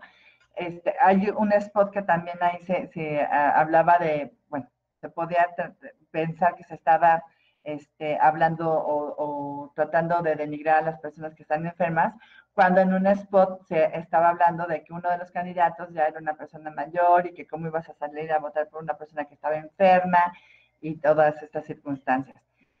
Como ustedes podrán estar viendo, los partidos políticos siempre tienen una imaginación extraordinaria, ¿no? Siempre van a la vanguardia en la manera en que están viendo cómo le dan la vuelta a la ley y cómo siempre casi se quedan en una franja, en, un, en una frontera donde casi están en, que hay una violación evidente a la ley y tal vez no la pueda haber. No están en esa franja siempre. Entonces, siempre tenemos cada año y cada momento muchos asuntos que tenemos que estar resolviendo que son totalmente diferentes a los que ya se han presentado este, con anterioridad. Otro tema importante también fueron las conferencias matutinas durante los procesos electorales locales. Este, en 2019 también hubo procesos electorales y en esta ocasión se denuncia este, al presidente de la República y al sistema de radiodifusión del Estado mexicano por la presentación de las conferencias matutinas. Lo que es, eh, al criterio que se llegó, si no mal recuerdo, es de que sí se pueden, obviamente, estar difundiendo las conferencias matutinas, pero en aquellas entidades federativas que no tienen elecciones y mientras no se esté en, durante las campañas electorales. Y creo que, bueno, es un criterio, este, pues, interesante, este, pero aquí el único problema va a ser qué vamos a hacer cuando en el 2021 tengamos elecciones a nivel federal y también en, en, todas las 32 entidades federativas, de distintos cargos de elección popular, pero va a haber elecciones en todo nuestro país. Entonces ahí, pues, aparentemente, si seguimos con este criterio, pues las conferencias matutinas ya no se podrían estar este, ni haciendo ni difundiendo, tal vez, este, en las campañas este, electorales, ¿no? Aquí ya encontré la lámina que habla este, del nombre del presidente en chalecos de personas que entregaban programas sociales, entonces se consideran las medidas cautelares. Se les dijo que ya que podían seguir entregando los programas sociales, pero sin usar esa indumentaria. Y bueno, y se llegó a la misma conclusión en el fondo, al resolver el fondo del asunto.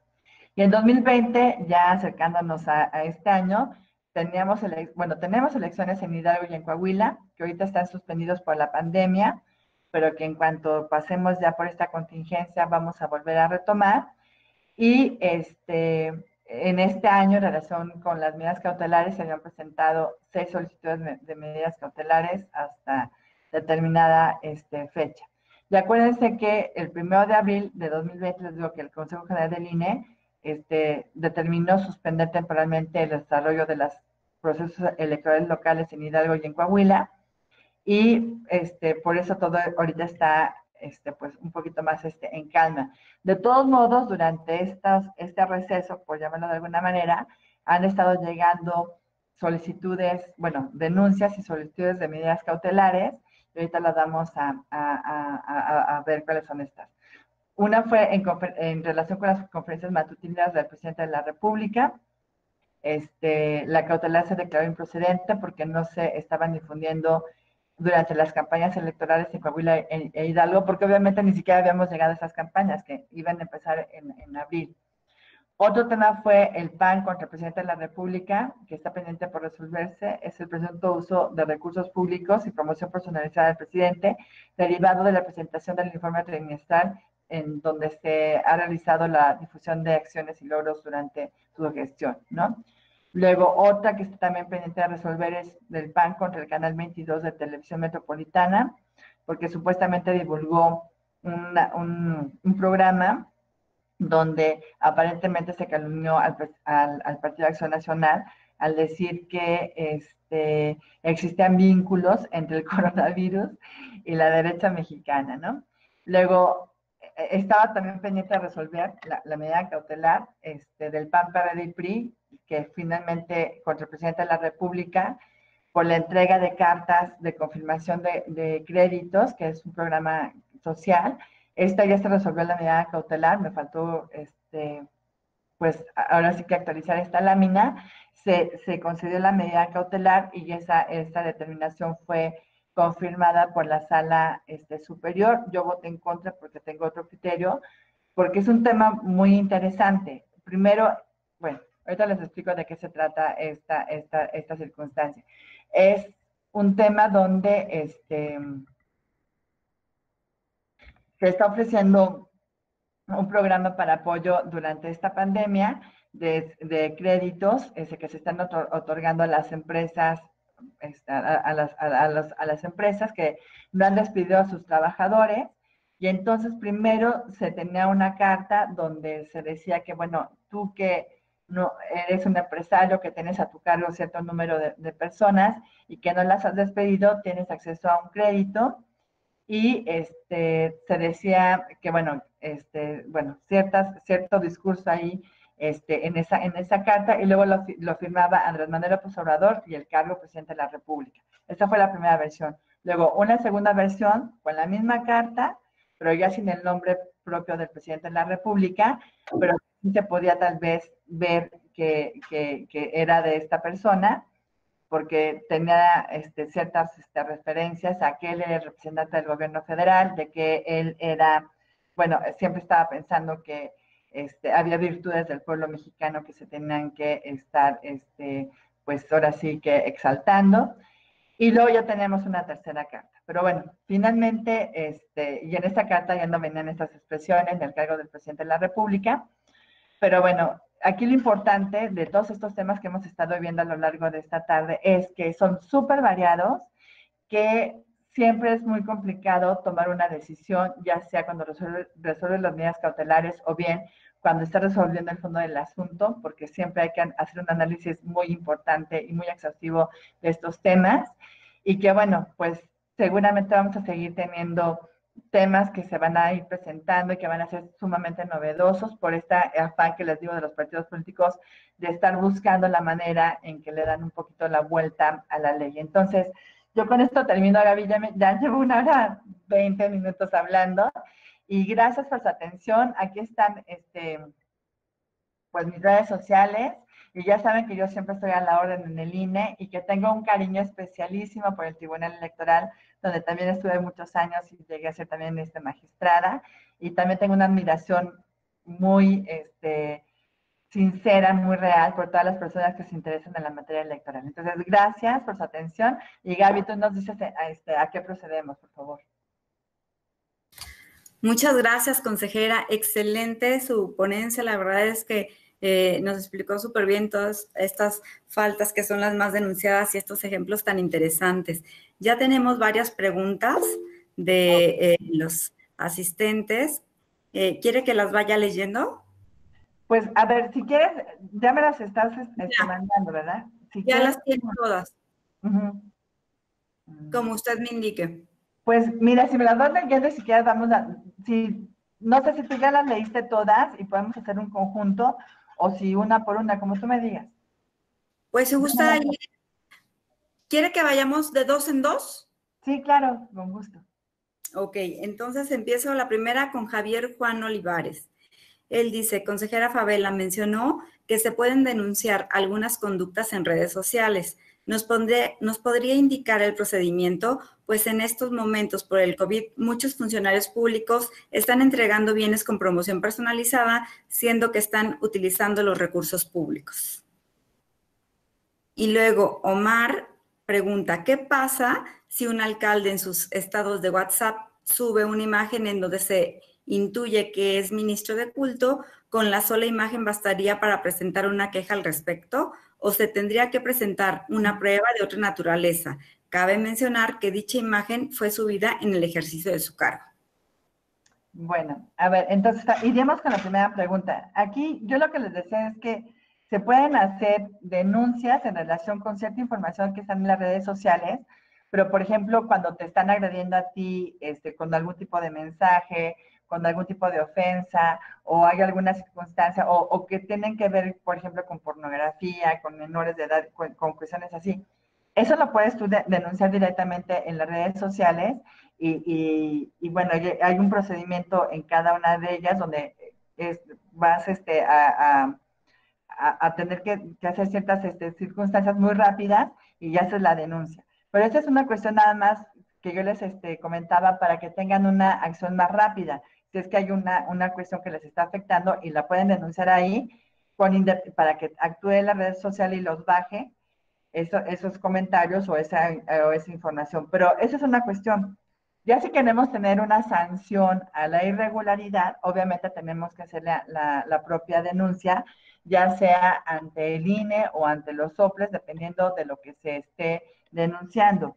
En este caso, lo, lo que nos dice Javier Juan Olivares es de que este, muchos, eh, que en estos momentos por el COVID muchos funcionarios públicos están entregando bienes con promoción personalizada, siendo que están utilizando los recursos públicos. Bueno, eso yo creo que lo pueden renunciar ante las propias autoridades, dependiendo si es un cargo de elección federal o elección local, lo pueden este, estar denunciando ante los propios suples ante INE para que se haga la investigación este, correspondiente y ya pues se pueda si se solicita alguna medida cautelar, bueno, se tendrá que analizar para que se frene este, la entrega de esos bienes, sobre todo con la promoción este, personalizada. Pero es algo que se tiene que denunciar ya de manera formal ante las autoridades, ¿no? Entonces, ya hay que hacerlo. No les puedo decir si procedería o no, porque también aquí la cuestión es que estamos involucradas, si es que llega algún tipo de, de denuncia, pero de que se puede hacer, lo pueden hacer y obviamente, bueno, pues pueden este, aportar las, las fotografías o, las, ¿cómo se llaman estos? Las ligas de dónde está esa información subida a las redes sociales. Y en relación con la otra persona, Omar, que nos dice que, que si un alcalde en sus estados de WhatsApp sube una imagen de donde se intuye que es ministro de culto religioso, bueno, pues a lo mejor lo podrían, este, lo pueden denunciar, ¿no?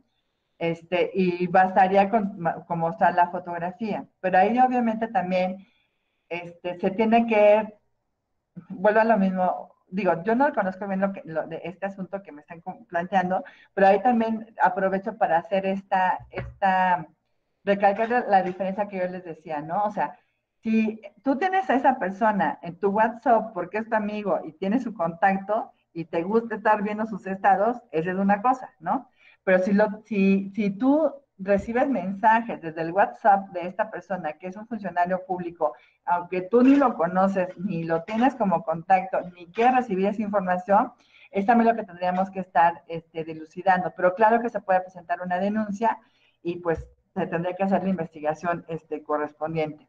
Gaby, adelante. Muchas gracias. Ramón Hernández, eh, la manda a felicitar y dice, eh, su pregunta dice, quisiera hacer una pregunta, dice en el sentido de que si cree necesario que se unifique en la medida de lo posible el procedimiento para el desahogo de los procedimientos POS y PES a nivel nacional, otra más. Si cree importante que como medida cautelar se niegue registro a candidato si se ve envuelto en una denuncia por violencia política igualmente aplicable a reelección. Ah, claro, pues qué importante es también esta pregunta, Ramón. Saludos. Este, qué onda que estás acá, amigo. A ver, yo creo que sí se tenía que, sería muy bueno tener como una sola manera de estar tramitando tanto los PES como los POS a nivel nacional y a nivel local, con ciertas reglas que fueran este, similares. Ahorita lo que también tenemos es este, que, por ejemplo, hay algunas este, entidades federativas donde tienen el, el sistema este, más o menos similar a nivel que lo que tenemos a nivel nacional una autoridad electoral administrativa que resuelve las medidas cautelares y tramita la denuncia e investiga, y una autoridad jurisdiccional que resuelve el fondo del asunto, que me parece que es un sistema pues bastante interesante y, y, que está vigente a partir de 2014. Pero creo que hay algunas entidades federativas donde todavía la autoridad electoral administrativa es la que este, resuelve las cautelares, investiga y resuelve el fondo del asunto. Entonces, si se pudiera unificar, pues sería mejor para todos, para poderlo hacer de una sola este, manera. Y obviamente tendremos que ver también los pros y los contras de cada uno de estos dos sistemas. Y en relación con la pregunta en relación de, que tiene que ver con género, me parece que es sumamente importante. Y, y, aquí creo que sí tendríamos que negarle el registro a personas que han incurrido en violencia política por razón de género en contra de las mujeres.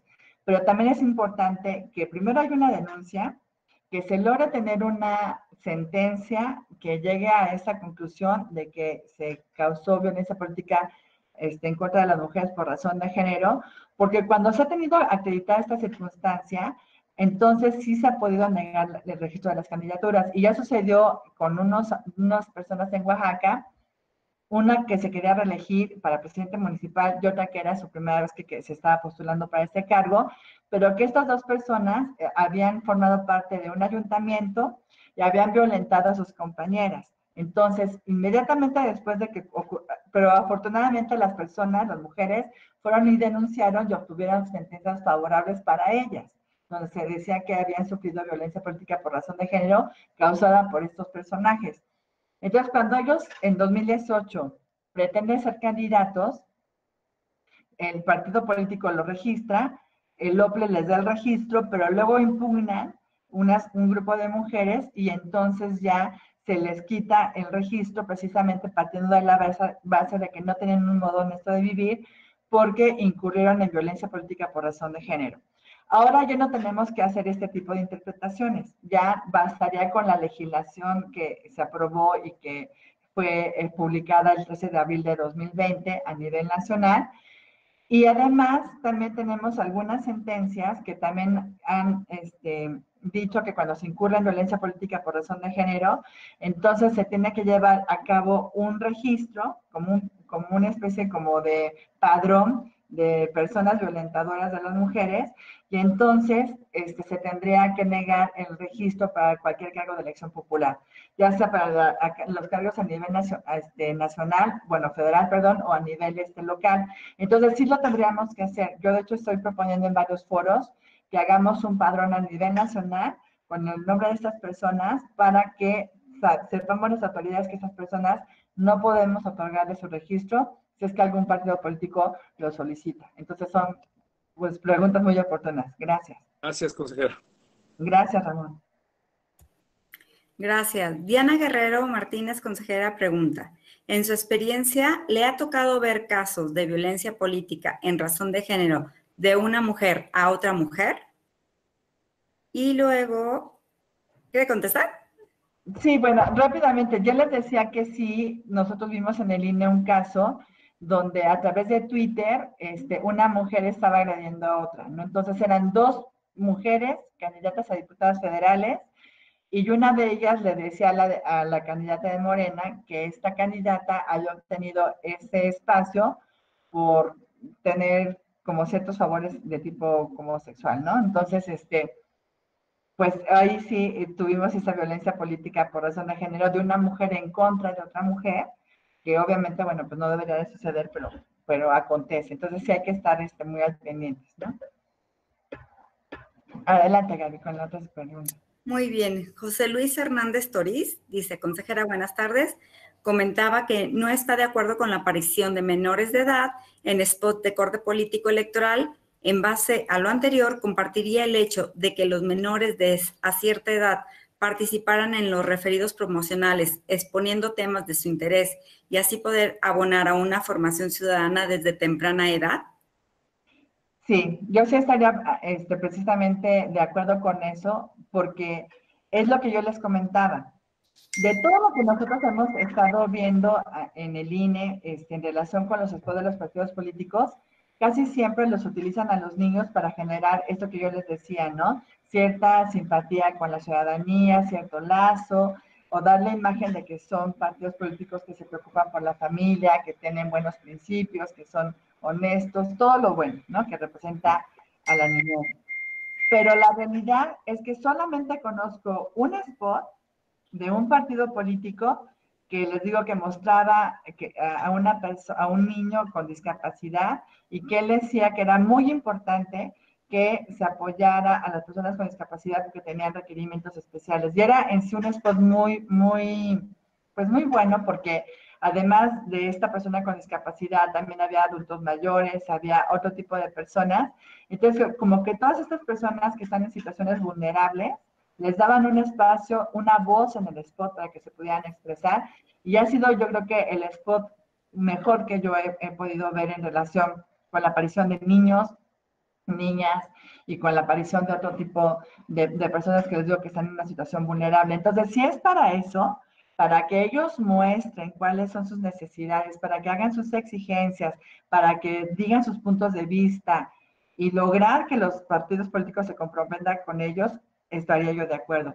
Pero, solamente, pero si es solamente para la utilización de esas imágenes, de esas presencias de los menores de edad para generar estas, estos sentimientos positivos en relación con algún partido político, eso sí yo no, yo no lo acepto.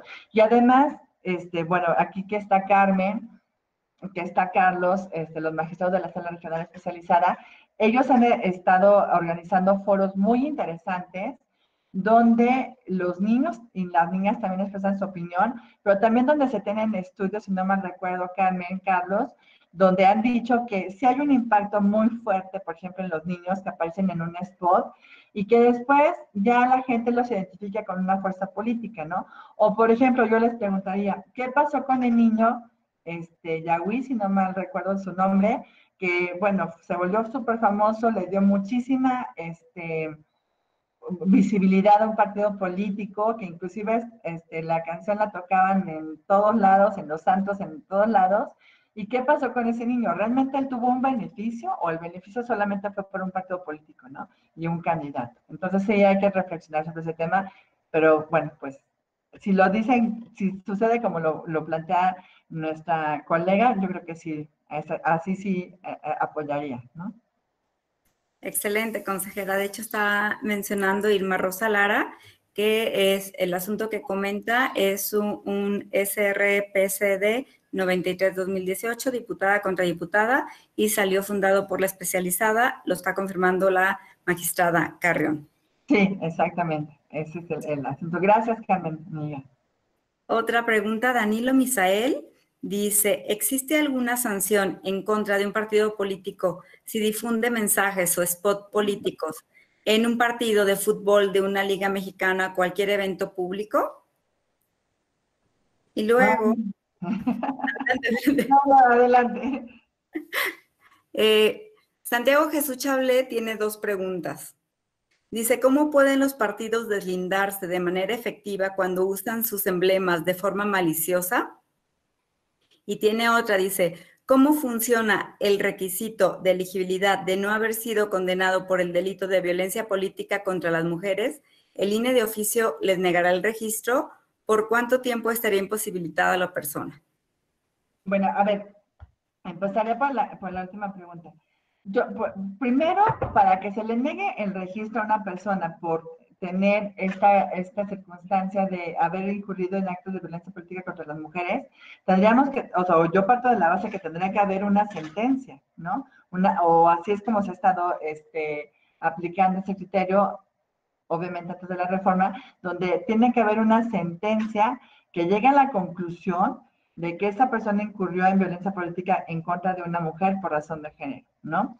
O bien pues un delito, ¿no? O sea, una, una sentencia de, una, de, o sea, una, una determinación de una autoridad este, penal.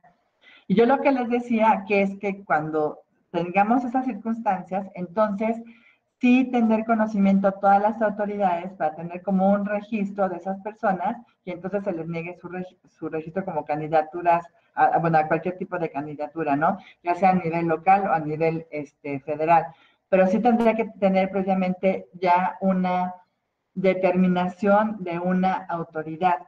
Porque eh, también hago énfasis en esto, y estoy obviamente reflexionando, ¿no? Obviamente podemos tener ideas distintas, pero es como lo que ocurría muchas veces con este, este requisito precisamente de, no, tener, no estar sujeto a un proceso penal, ¿no?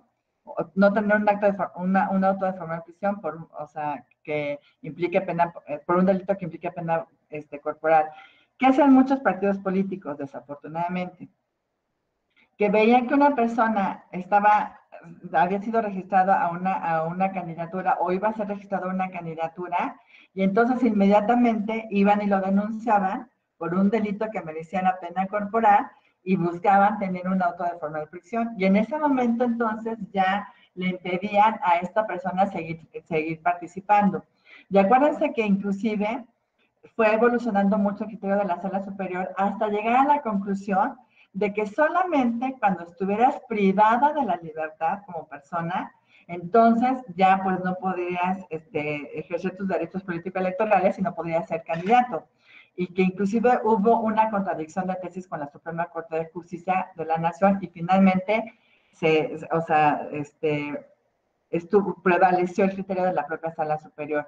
Entonces, aquí lo tengo a colación, porque lo que tenemos también que cuidar es que entonces ahora no se generen denuncias, ¿no? De, de, violencia política contra las mujeres solamente para quitar a alguien del camino. Entonces yo sí diría que tendría que tener primero una sentencia ya que, que llegue a esta conclusión emitida ya sea por una, por una autoridad electoral este, jurisdiccional, en este caso, este, o, o, o, por una autoridad este, penal, y ya a partir de esa, de esa determinación de algo que ya quedó plenamente acreditado, entonces ahora sí actuar este, en consecuencia, pero sí tenemos que seguir esos pasos.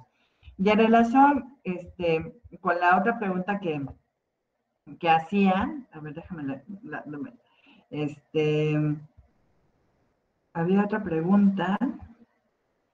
Este, mmm, decía que alguna, alguna, sanción, ¿no? Contra un partido político que si difunde mensajes o spots políticos en un partido de fútbol en la liga. Bueno, este, ahí tenemos que tener este, también cuidado, porque acuérdense este, que sí también ya, ya hay algunos asuntos, por ejemplo, este, ya se ha sancionado por la sala superior este, la aparición de mensajes en vallas de partidos, eh, eh, las vallas que se ponen en los partidos de fútbol por los mensajes que ahí se pueden estar este, llevando a cabo, ¿no?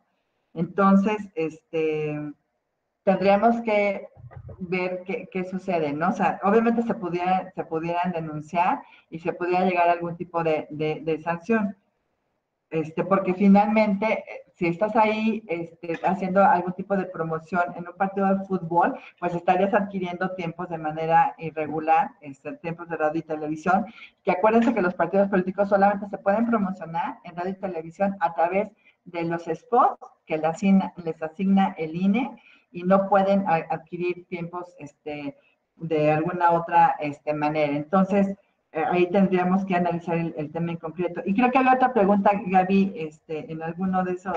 Sí, en la siguiente, consejera, eh, Santiago dice, ¿cómo pueden los partidos deslindarse de manera efectiva cuando usan sus emblemas de forma maliciosa?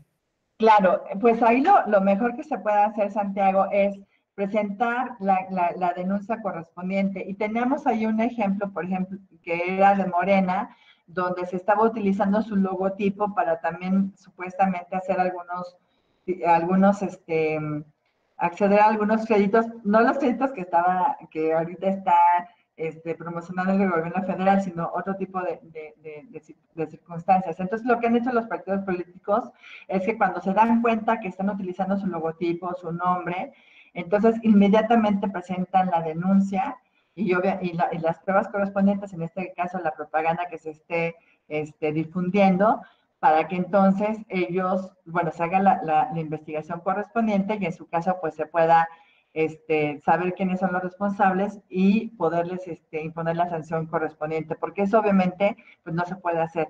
Por eso también la importancia de que en cada spot de radio, de televisión o en, cualquier propaganda que se vaya a fijar por un partido político, siempre vaya la identificación del partido, ¿no? Para que entonces se pueda deslindar responsabilidades y saber de quién es la propaganda y, de, y, también cuando se esté utilizando su logotipo, su nombre, de manera indebida, también se puede hacer esa, esa denuncia correspondiente. Pero sí es muy importante hacer el deslinde a través de una denuncia. Gracias, consejera.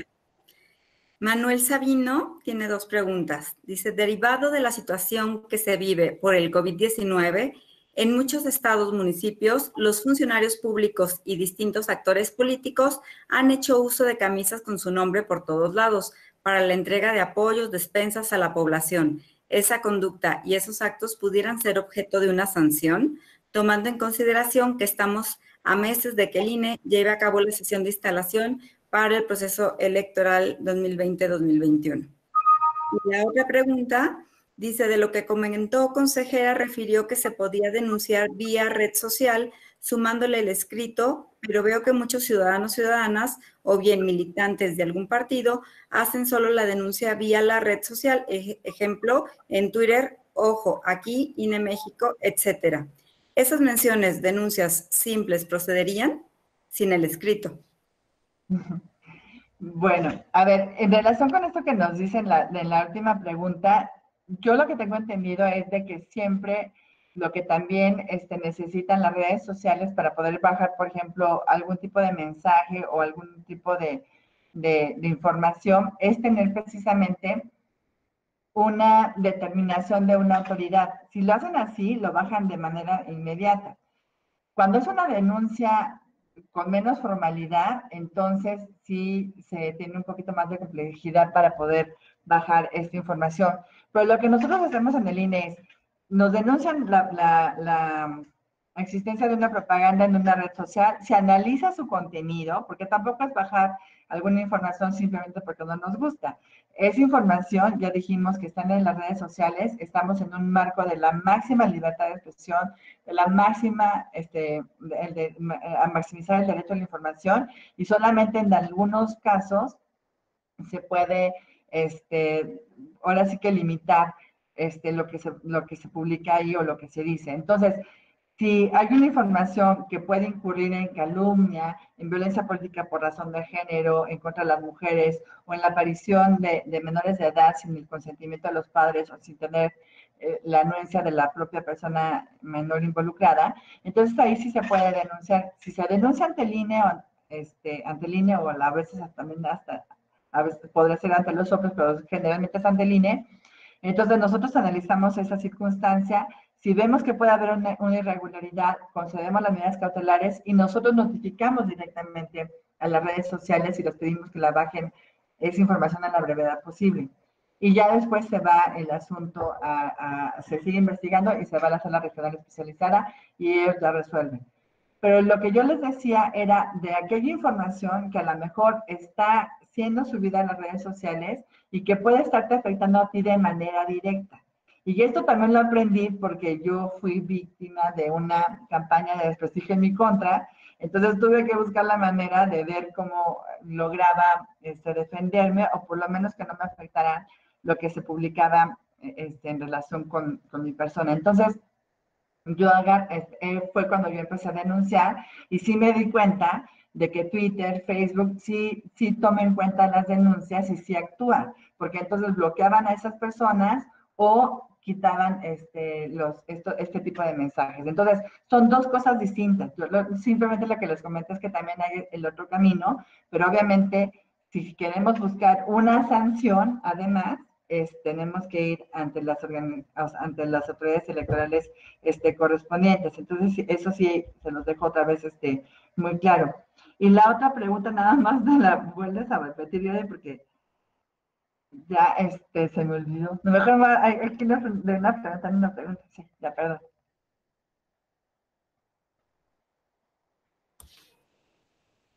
Claro que sí, consejera. Ah, ya la Era de, las que personas que están entregando despensas o cualquier cosa con, con, sus nombres. Pues ya lo, es que ya lo dijimos, que sí, este, o sea, obviamente se puede denunciar, ¿no? Este, ya sé que estamos en una situación muy difícil a nivel mundial y en nuestro país con esto de la pandemia y tal vez, este, pues bueno, obviamente la gente que, quiere ayudar está bien, ¿no? Pero también entregar esa, esa, esos, esos despensas, esos apoyos, si eres un funcionario público, llevando tu nombre y tu, o sea, alguna circunstancia que te identifique, es lo que no es este, aparentemente aceptable. Y ya les ponía el ejemplo de este, estos programas sociales que estaban este, repartiendo los, los servidores de la nación y que estaban llevando indumentaria que eran gorras, chalecos con el nombre del presidente de la República. Entonces se le dijo, a ver, sí puedes seguir entregando los programas sociales, obviamente los tienes que seguir dando porque la gente los necesita, pero lo que no puedes hacer es seguirlos entregando con esas gorras de esos chalecos. Quítate eso y sigue entregando la, e, esta, este tipo de, programas sociales. Y me parecería que en todo caso es lo que tendrían que hacer los funcionarios públicos. Si tienen un programa de apoyo a las personas, lo tendrían que estar ejecutando, pero no necesariamente tienen que, bueno, más bien no tendrían que llevar ningún tipo de identificación del nombre del funcionario público lo tendría que ser del municipio X, de la alcaldía Y, del gobierno local X, ¿no? Pero no de ellos en lo personal, que la, irregularidad es la promoción personalizada. Gracias, consejera. Juan Esquivel tiene dos preguntas. Dice, pareciera que los actores políticos prefieren la sanción a evitar las conductas prohibidas. En su experiencia, ¿cree usted que aumentar la fuerza de las sanciones sea el remedio para inhibir este tipo de infracciones? Y en caso de que no, ¿cuál podría ser el remedio? Híjole. Bueno, es un tema súper interesante. Yo, bueno, primero creo que lo que sí nos falta es muchísima conciencia y muchísima educación este, cívica y todo, porque de verdad les digo, siempre encontramos lo mismo. Hay una circunstancia, una, irregularidad que están haciendo los partidos políticos, se les pone un alto, hay una ley, lo que sea, y entonces los partidos políticos vuelven a, a buscar la manera de seguir haciendo lo que ellos necesitan y darle la vuelta a la ley. Es, parece de verdad el cuento de nunca acabar. Yo llevo 25 años en la materia electoral y siempre estamos batallando por lo mismo y los compañeros, amigos que están aquí en esta charla, que también tienen mucha experiencia en materia electoral, lo sabemos perfecto. Entonces, es también hacer como un cambio de, o sea, de conciencia, ¿no? Pero también creo que si tienes, o si, si impones una sanción que realmente sea inhibitoria de la conducta, entonces puedes tener, tener algún, algún resultado. Ojalá que no fuera necesario sancionar, eso sería lo ideal. Pero mientras llegamos a ese punto, entonces yo creo que, sí, este, sancionar de una manera más este, fuerte, que realmente los partidos políticos digan, a ver, es que no me conviene hacer la irregularidad, porque entonces voy a tener una sanción que es muy grave, entonces mejor le pongo un remedio. Porque si la sanción es muy, muy pequeña, y me refiero, por ejemplo, a cuestiones económicas, pues los partidos entonces se hacen su cálculo, dicen, a ver, quiero hacer esto y me van a sancionar con 5 mil pesos, ah, pues lo hago, ¿no? De todos modos, el beneficio ya lo obtuve. Y ese beneficio que yo ya obtuve es muchísimo mayor que la, sanción económica que me están imponiendo. Y nada más rápidamente les, les comento un caso. Nosotros tuvimos muchos asuntos, casi 20 mil denuncias por este, afiliaciones indebidas a los partidos políticos, ¿sí? Entonces empezaron a llegar esos casos, empezamos a sancionar a los partidos políticos y les empezamos a decir, oigan, es que tienen que tomar una, un remedio para que esto no esté sucediendo, porque ¿cómo me dices que hay una persona afiliada a tu partido político y esa persona no se afilió y tú no tienes la cédula de afiliación? Bueno, eso les estuvimos diciendo durante varios años y se les empezó a sancionar.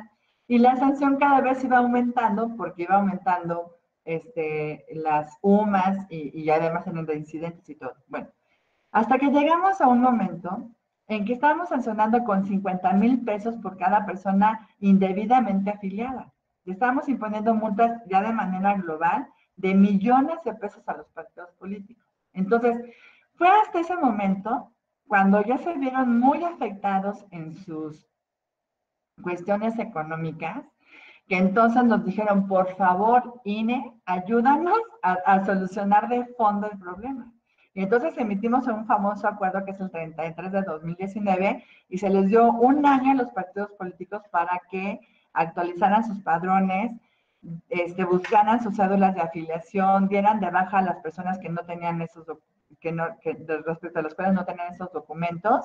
Y más o menos pudimos estar resolviendo el problema. Aunque claro, ¿eh? También les, les, advierto, hay partidos políticos que de todos modos siguieron afiliando sin contar con las cédulas de afiliación. Pero obviamente ahorita ya estamos este, imponiendo sanciones casi de 100 mil pesos por cada persona indebidamente afiliada si se trata de reincidencia. Entonces, no es lo, ideal. A mí me encantaría que todos fuéramos muy conscientes, nos portáramos conforme a la ley y no tuviéramos ningún problema. Pero mientras eso llega, la realidad es que si las sanciones, mientras que son económicas, mientras más fuertes son, sí tienen una mejor este, manera de solucionar los problemas, ¿no? Pero bueno, hay que, hay que seguir intentando. Gracias, consejera. Sergio Cruz eh, tiene una pregunta. Dice, de las reglas y situaciones que ha mencionado que ha resuelto el INE, ¿se podrían adecuar algunas para los procesos en comunidades que tienen sistemas normativos internos? Mm, pero es que tendríamos que ver de qué tipo de, reglas, ¿no? O sea, acuérdense que si, no, si, está, si estás hablando del tema de procedimientos especiales sancionadores, bueno, pues también se podrían hacer este, las denuncias correspondientes y las soples tendrían que resolver, ¿no? Pero si se trata este, de, cuestiones que, tienen que ver ya con la, con la organización de una elección o de un procedimiento de renovación de, de, este, ahora sí que de, dirigentes, sí tendríamos que ver el, caso concreto, ¿no? Porque ahí, acá, acuérdense que cada comunidad tiene sus propias reglas, este, y lo que hemos logrado hacer a, nivel nacional o, o, a nivel eh, de la materia electoral es tener ciertos lineamientos, ¿no? Por ejemplo, aunque las comunidades no les guste la participación de las mujeres, ahora tienen que participar, ¿no? Porque este, esta, esta, esta circunstancia es muchísimo más importante que el propio uso que tengan en la comunidad. O este, algunas otras circunstancias de que tiene que haber una renovación que sea periódica, ¿no? Este, pero de ahí en fuera, casi siempre nos damos las reglas que tenga cada una de las comunidades y lo que hacen los soples, si no mal recuerdo, es estar viendo que se lleva a cabo este, estas, este tipo de elecciones, les digo, con cierta prioridad, y que se dé la participación a las mujeres y que no haya circunstancias que dejen en estado como de no participación a algún grupo en, específico, ¿no? Pero esos son temas muchísimo más especializados, que tendríamos que verlos en casos concretos. Perfecto, consejera. Joaquín Carrión tiene dos preguntas. Dice, ¿cuáles son los elementos de la real malicia para configurar una calumnia? Y la segunda es, cuando el denunciante alega que se le están atribuyendo hechos falsos que resultan calumniosos, calumniosos, ¿qué hace la comisión cuando no tienen la certeza de que el hecho es falso? ¿Existe ahí peligro en la demora por no tener certeza de si es un hecho falso o no? bueno, Digo, no más es exactamente cómo es el, esto de la real malicia, o sea, si no me recuerdo, es que, realmente tú estás haciendo ese tipo de afirmación a sabiendas de que estás, o sea, que no es cierto y, con, el, con el afán de causar este, un daño. Y les pongo, por ejemplo, o sea, un ejemplo. En, en la elección de, de, de la gubernatura de Veracruz, este, se le estaba imputando a Miguel Ángel Yunes esta cuestión de, que, es un o de que era un pederasta, ¿no? Entonces, este, el partido político que hacía este tipo de acusaciones decía es que se fue denunciado, ¿no? Y, se le acusó de pederasta y, y, esto. Y eso era cierto. Pero lo que no decía el partido político es que después de que fue la denuncia, esa denuncia se declaró improcedente y ya está, o sea, o, hubo una, una, serie de circunstancias total que esta persona, que había sido denunciado por, por pederasta, finalmente nunca se acreditó esa circunstancia y no había realmente algo que lo acreditara, o sea, que lo probara, ni una sentencia en, este, en relación con ese tipo de delito, ¿no? Entonces, este partido político, pues sí estaba actuando, ¿no? Con malicia, porque, porque él sabía que había, no, no se había llegado a una sentencia condenatoria en relación con este, este tipo penal respecto a esta persona, y en vez de decir toda la información en su spot, solamente se quedaba con que había sido denunciado por pederasta, ¿no? Entonces, ahí es cuando nosotros tenemos que tener como toda la información para poder este, llegar a, una conclusión. Este, pero también, retomando este, este asunto, también les, comento lo siguiente.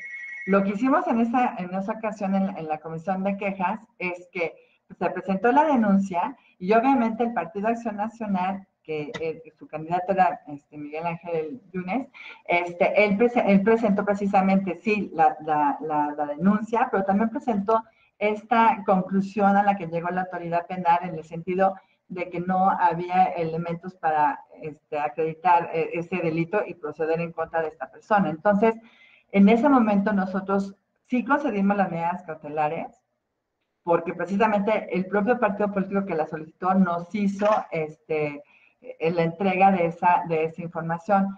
Pero lo que preguntan es muy interesante, porque a veces te están imputando alguna circunstancia irregular pero no tiene los elementos para dilucidar si eso es cierto no, ¿no? Pero bueno, pues aquí lo que nosotros hacemos en esos casos es tratar de investigar lo más posible para poder tomar la, la, decisión más correcta, pero obviamente ahí los que tienen el trabajo más importante es en las salas regionales especializadas para poder determinar finalmente al resolver el fondo del asunto si hay calumnia o no la hay, ¿no? Pero sí son temas muy interesantes. Consejera, muchas gracias por el tiempo. Pues quedan muchas preguntas eh, todavía por hacer, pero si gusta se las hacemos llegar y agradecer, agradecerle muchísimo que esté aquí en esta, que como bien lo dijo, es su casa. Es un honor y bueno, que eh, sea una de tantas que eh, sigue estando con nosotros. De verdad es un súper honor también. Gracias, Gaby. Y gracias a todas las personas que nos hicieron favor de escucharnos el día de hoy. Ojalá que, que, como lo dices, Gaby, no sea la primera vez, sino que podamos estar conversando, porque son temas muy importantes que creo que todos aprendemos al momento en que estamos aquí platicando de ellos. También me siempre con muchísimas reflexiones. Es una retroalimentación que yo les agradezco y de verdad me da mucho gusto conectar a muchas personas que yo conozco, queridas amigas y amigos, y también agradezco mucho a las personas que tienen este interés en la materia electoral. Y de verdad, gracias, Gaby, por organizar este tipo de, eventos. Agradezco nuevamente al magistrado Felipe de la Mata por haberme invitado a participar, a la magistrada Carmen Carrión, al magistrado Carlos Hernández Toledo y a la magistrada los magistrados de la sala este, superior y de verdad, ojalá que podamos seguir en contacto. Cuídense mucho, por favor, este, no salgan de sus casas salvo que tengan alguna situación este, muy urgente de atender. Acuérdense que la salud, estar bien es lo más importante para seguir trabajando en la materia electoral y aportando a nuestro país. Entonces, ha sido un gusto. Les mando muchos besos y ojalá que pronto nos podamos volver a ver. Gracias, Gaby. Gracias, Carmen. Gracias, Carlos. Gracias, consejera. Linda tarde. Gusto en saludarla. Muchas gracias, consejera. Llega una lluvia de felicitaciones por su ponencia a la cual nos unimos y les pido a todos que abran sus micrófonos ahora sí y le demos un fuerte aplauso.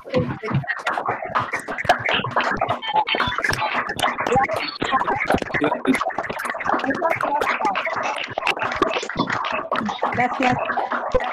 Gracias.